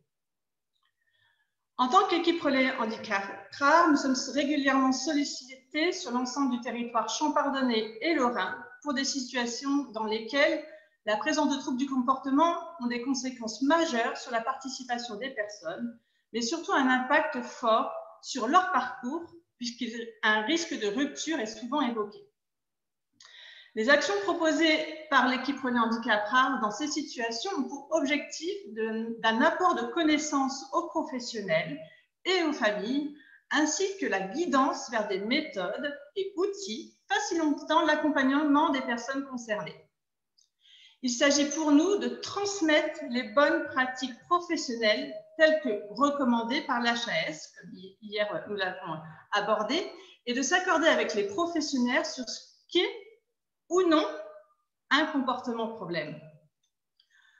Ensuite, il s'agit de guider les acteurs de l'accompagnement vers des pratiques visant à limiter, réduire, voire éteindre autant que de possible les troubles du comportement. Nous proposons un éclairage, un autre regard sur la personne et la situation vécue afin de dégager des hypothèses pouvant expliquer la la survenue des comportements et encourager la mise en œuvre d'actions visant à, réduire leur apparition. Afin de permettre une meilleure compréhension de la personne en situation de, handicap rare et de prévenir les comportements problèmes, des actions récurrentes sont portées par l'équipe Relais Handicap Rare et euh, et peuvent être vraiment reliées avec les recommandations de bonnes pratiques, à savoir reconnaître et prendre en compte les capacités de la personne, en sensibilisant les professionnels aux notions de pouvoir d'agir, d'autodétermination. Et pour cela, par exemple, nous avons mené en janvier 2021 une action collective euh, à travers un webinaire sur l'autodétermination avec des partenaires du Canada et de Belgique. Euh, au niveau des recommandations de bonnes pratiques également, dans nos missions, et on fait le choix d'encourager la bonne connaissance sur la modalité de communication de la personne, tant en expression qu'en compréhension. Et pour cela, on évalue ces modalités de communication en émission, c'est-à-dire comment la personne fait-elle une demande au sein de son environnement, mais également en réception de l'information, c'est-à-dire comment faire comprendre à la personne une demande au sein de son environnement. Et enfin, d'encourager la mise en place d'outils de communication alternative et améliorés qui sont adaptés et singuliers à la personne. On est vraiment dans, dans, dans, dans un outil qui vraiment est très spécifique et pas dans des généralités. Et puis, si ce n'est pas envisageable de mettre en place un, un, outil de communication alternative et amélioré, on propose un dictionnaire personnalisé qui peut être mis en œuvre afin de recenser les comportements de communication et les différencier des comportements dits problèmes. Ces outils de recueil sont toujours construits avec l'ensemble des acteurs accompagnants et sont évolutifs tout le long du parcours de vie de la personne. D'ailleurs, euh, avec le CREAI, et sera sans doute proposée une action collective sur le sujet des outils de communication alternative et améliorés en novembre 2021. Donc, j'espère qu'on pourra se retrouver en présentiel sur ce temps. Au niveau euh, de l'équipe relais également, pour euh, travailler euh, toujours en s'appuyant sur les, recommandations de bonne pratique, on met un point de vigilance sur le fait de prendre en compte l'environnement relationnel et émotionnel en utilisant des grilles d'observation du comportement afin de recueillir et analyser les données permettant de mettre en place ensuite des stratégies communes par l'ensemble des acteurs accompagnants, que ce soit famille ou professionnels. Ensuite, ce que l'on encourage, c'est vraiment d'avoir une connaissance fine des limites et des potentialités de la personne en sollicitant auprès des professionnels ayant vraiment acquis une technicité spécifique des évaluations, soit cognitives, motrices, sensorielles ou émotionnelles, de la personne en situation de handicap rare. Pour illustrer ce propos, il faut savoir que l'équipe relais handicap rare a accompagné les professionnels de l'IME Éveil de Reims et la maison des adolescents du de Reims pour accueillir un jeune en rupture de parcours en mettant à disposition de ces différents partenaires des ressources pour évaluer les besoins de la personne en situation de handicap rare, encourager une mise en commun de ces connaissances et co-construire entre le secteur sanitaire et le secteur médico-social un projet de vie adapté et singulier répondant aussi aux attentes de la famille. L'équipe Relais Handicap Rare encourage également à connaître les troubles associés en encourageant la mise en place, par exemple, dans le cas d'une épilepsie, d'outils d'observation idéalement informatisés afin de permettre un recueil et une analyse des données de crise d'épilepsie, soit mensuelles, trimestrielles, annuelles ou même saisonnières, afin de différencier le cas échéant si le trouble du comportement est lié à une crise d'épilepsie ou si la crise d'épilepsie a un facteur déclenchant environnemental. Et ces données sont vraiment précieuses parce qu'on a eu, entre autres, des retours euh, de neurologues qui, euh, grâce à, ces graphiques sur des documents Excel, permettent vraiment, euh, sur plusieurs temps, voire même des années, de, mettre un point de vigilance sur quand, quand est-ce qu'arrivent certaines crises pour justement adapter les comportements euh, des professionnels et familles et limiter euh, justement l'apparition des crises. Ensuite, comme vous l'avez tous évoqué, on insiste sur l'importance de reconnaître et de prendre en compte l'expression de la douleur en transmettant des grilles d'observation de la personne non oralisantes comme des échelles d'évaluation. Nous insistons vraiment et, je suis confortée dans, ce choix-là de, vraiment accompagner euh, et de mettre en relation et de reconnaître, j'oserais dire, la place des proches aidants dans les situations de comportement problème. Souvent, c'est eux qui, qui, ont la clé pour nous permettre euh, de correctement agir et, interagir avec la personne lorsqu'il y a une situation de crise. Et ce, que l'on propose, nous, comme outil, c'est vraiment la rédaction de ce qu'on appelle, et ça c'est un outil de l'équipe Relais Handicap Rare, le livret d'accompagnement qui permet de mettre à la connaissance de tous les acteurs accompagnants, que ce soit famille, que ce soit professionnel, les besoins et compétences de la personne en situation de handicap rare, afin de favoriser la cohérence de l'accompagnement sur les différents lieux de vie, et cela tout au long du parcours de vie. C'est aussi quelque chose qui est co-construit et qui est évolutif en fonction euh, des, compétences et des apprentissages de la personne. Enfin, euh, en tant qu'équipe Prenez Handicap Rare, euh, on, se doit aussi de, s'assurer que l'ensemble des besoins de la personne trouve une réponse en s'appuyant sur nos réseaux d'acteurs du territoire tout au long du parcours de soins, de santé et de vie de la personne en situation de handicap rare. Voilà, ce sont vraiment quelques exemples de, questions euh, récurrentes et d'actions fréquemment menées par notre équipe de handicap rare dans le contexte des comportements posant problème. Et on, a aussi cette possibilité d'orienter également vers des ressources dites expertes autant que, de besoin. Je vous remercie euh, pour votre attention et, nous restons vraiment à, votre disposition pour répondre à l'ensemble de vos questions. Merci, merci Elodie euh, pour cette euh, intervention qui était euh, à la fois précise sur les, missions générales de l'ERHR, mais également très concrète sur les modalités d'action particulières qui, qui peuvent être mises en œuvre. Dans le chat, la densité des questions semble à peu près corrélée au niveau de l'estomac, c'est-à-dire que plus l'estomac se vide et moins les questions se remplissent. Euh, c'est en, tout cas euh, une hypothèse qu'on peut faire puisque euh, il n'y a, pas de, réaction. Sinon, une précision de, de donc handicap pourront prendre le relais qui précise qu'ils proposeront des ateliers santé au mois d'août en partenariat avec l'ARS, la CEPAM et l'Union française de santé bucco-dentaire. Donc, on, vous invite à se rapprocher de leur site si vous êtes intéressé pour en, profiter.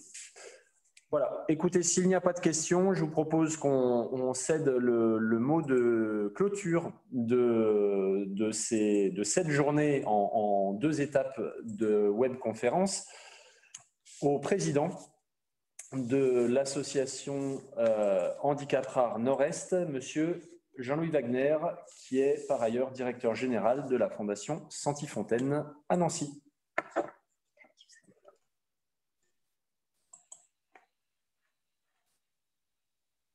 Voilà, on vous voit. Voilà, me voilà. Bonjour à tous. Merci. Merci. Donc, il m'appartient en tant que président de l'association Réseau Handicap Rare Nord-Est de, de clore ces deux demi-journées. Merci dans un premier temps euh, au CREAI, merci à l'ARS et, aussi merci à l'équipe Relais Handicap Rare pour l'organisation de ce webinaire. Euh, webinaire de qualité, euh, échange de qualité. Ah, donc, merci à vous. Nous vous rappelons qu'il sera prochainement disponible ce webinaire en replay sur l'ensemble des différents sites Internet. Merci à l'ensemble des intervenants qui ont éclairé hier et euh, ce matin un sujet qui reste sensible. Et donc, l'accent a été mis sur une notion qui reste complexe et effectivement aux usages variés. Les comportements défis, euh, nous le savons tous, ont un impact direct sur le parcours des personnes. Ils génèrent des dysfonctionnements, des ruptures, toujours délétères pour la personne d'abord, mais aussi pour tout son environnement. Euh, nous retenons des propos exposés que l'enjeu majeur est la compréhension partagée des causes de ces comportements, et c'est bien la co-construction autour de cette compréhension qui demeure la clé de voûte. Nous avons compris que l'importance de considérer que les comportements des filles sont avant tout une question collective et qu'il n'y a pas de réponse absolue. Nous devons donc également considérer notre responsabilité partagée. Entendu que les politiques publiques sont aujourd'hui incarnées par des recommandations de bonnes pratiques, mais aussi par un ensemble d'offres de services qui se sont adaptées et ont développé une expertise spécifique. Les retours d'expérience qui ont été présentés nous montrent aussi l'importance d'agir sur l'environnement, d'adapter nos pratiques et de développer une véritable culture écosystémique. Opter pour un tel changement de paradigme, c'est accepter de décaler notre vision, de décaler nos modes d'intervention afin de répondre de façon plus appropriée aux besoins et aux attentes des personnes. Retenons donc cet intérêt commun qui nous a réunis hier et aujourd'hui et d'améliorer pour améliorer le quotidien, nous améliorer, pardon, pour améliorer le quotidien des personnes que nous accompagnons. Le problème, c'est nous tous, dans notre approche et notre ancrage. Osons effectivement reconnaître cette inversion qui consiste à déporter le problème centré sur la personne vers son environnement pour agir de façon cohérente et juste. Acceptons de prendre notre part de responsabilité collective dans ces comportements qui nous embarrassent, ou plutôt qui nous embarrassaient, car effectivement, nous pouvons considérer aujourd'hui être un peu mieux éclairés sur cette question. Voilà, merci à toutes et à tous pour euh, votre participation et encore une fois pour la qualité des échanges. Euh, voilà, il me reste à vous souhaiter euh, sur cette brève, suite à cette brève intervention, une, un bel été, de bonnes vacances et donc un retour et une bonne rentrée d'ici un mois et demi à deux mois.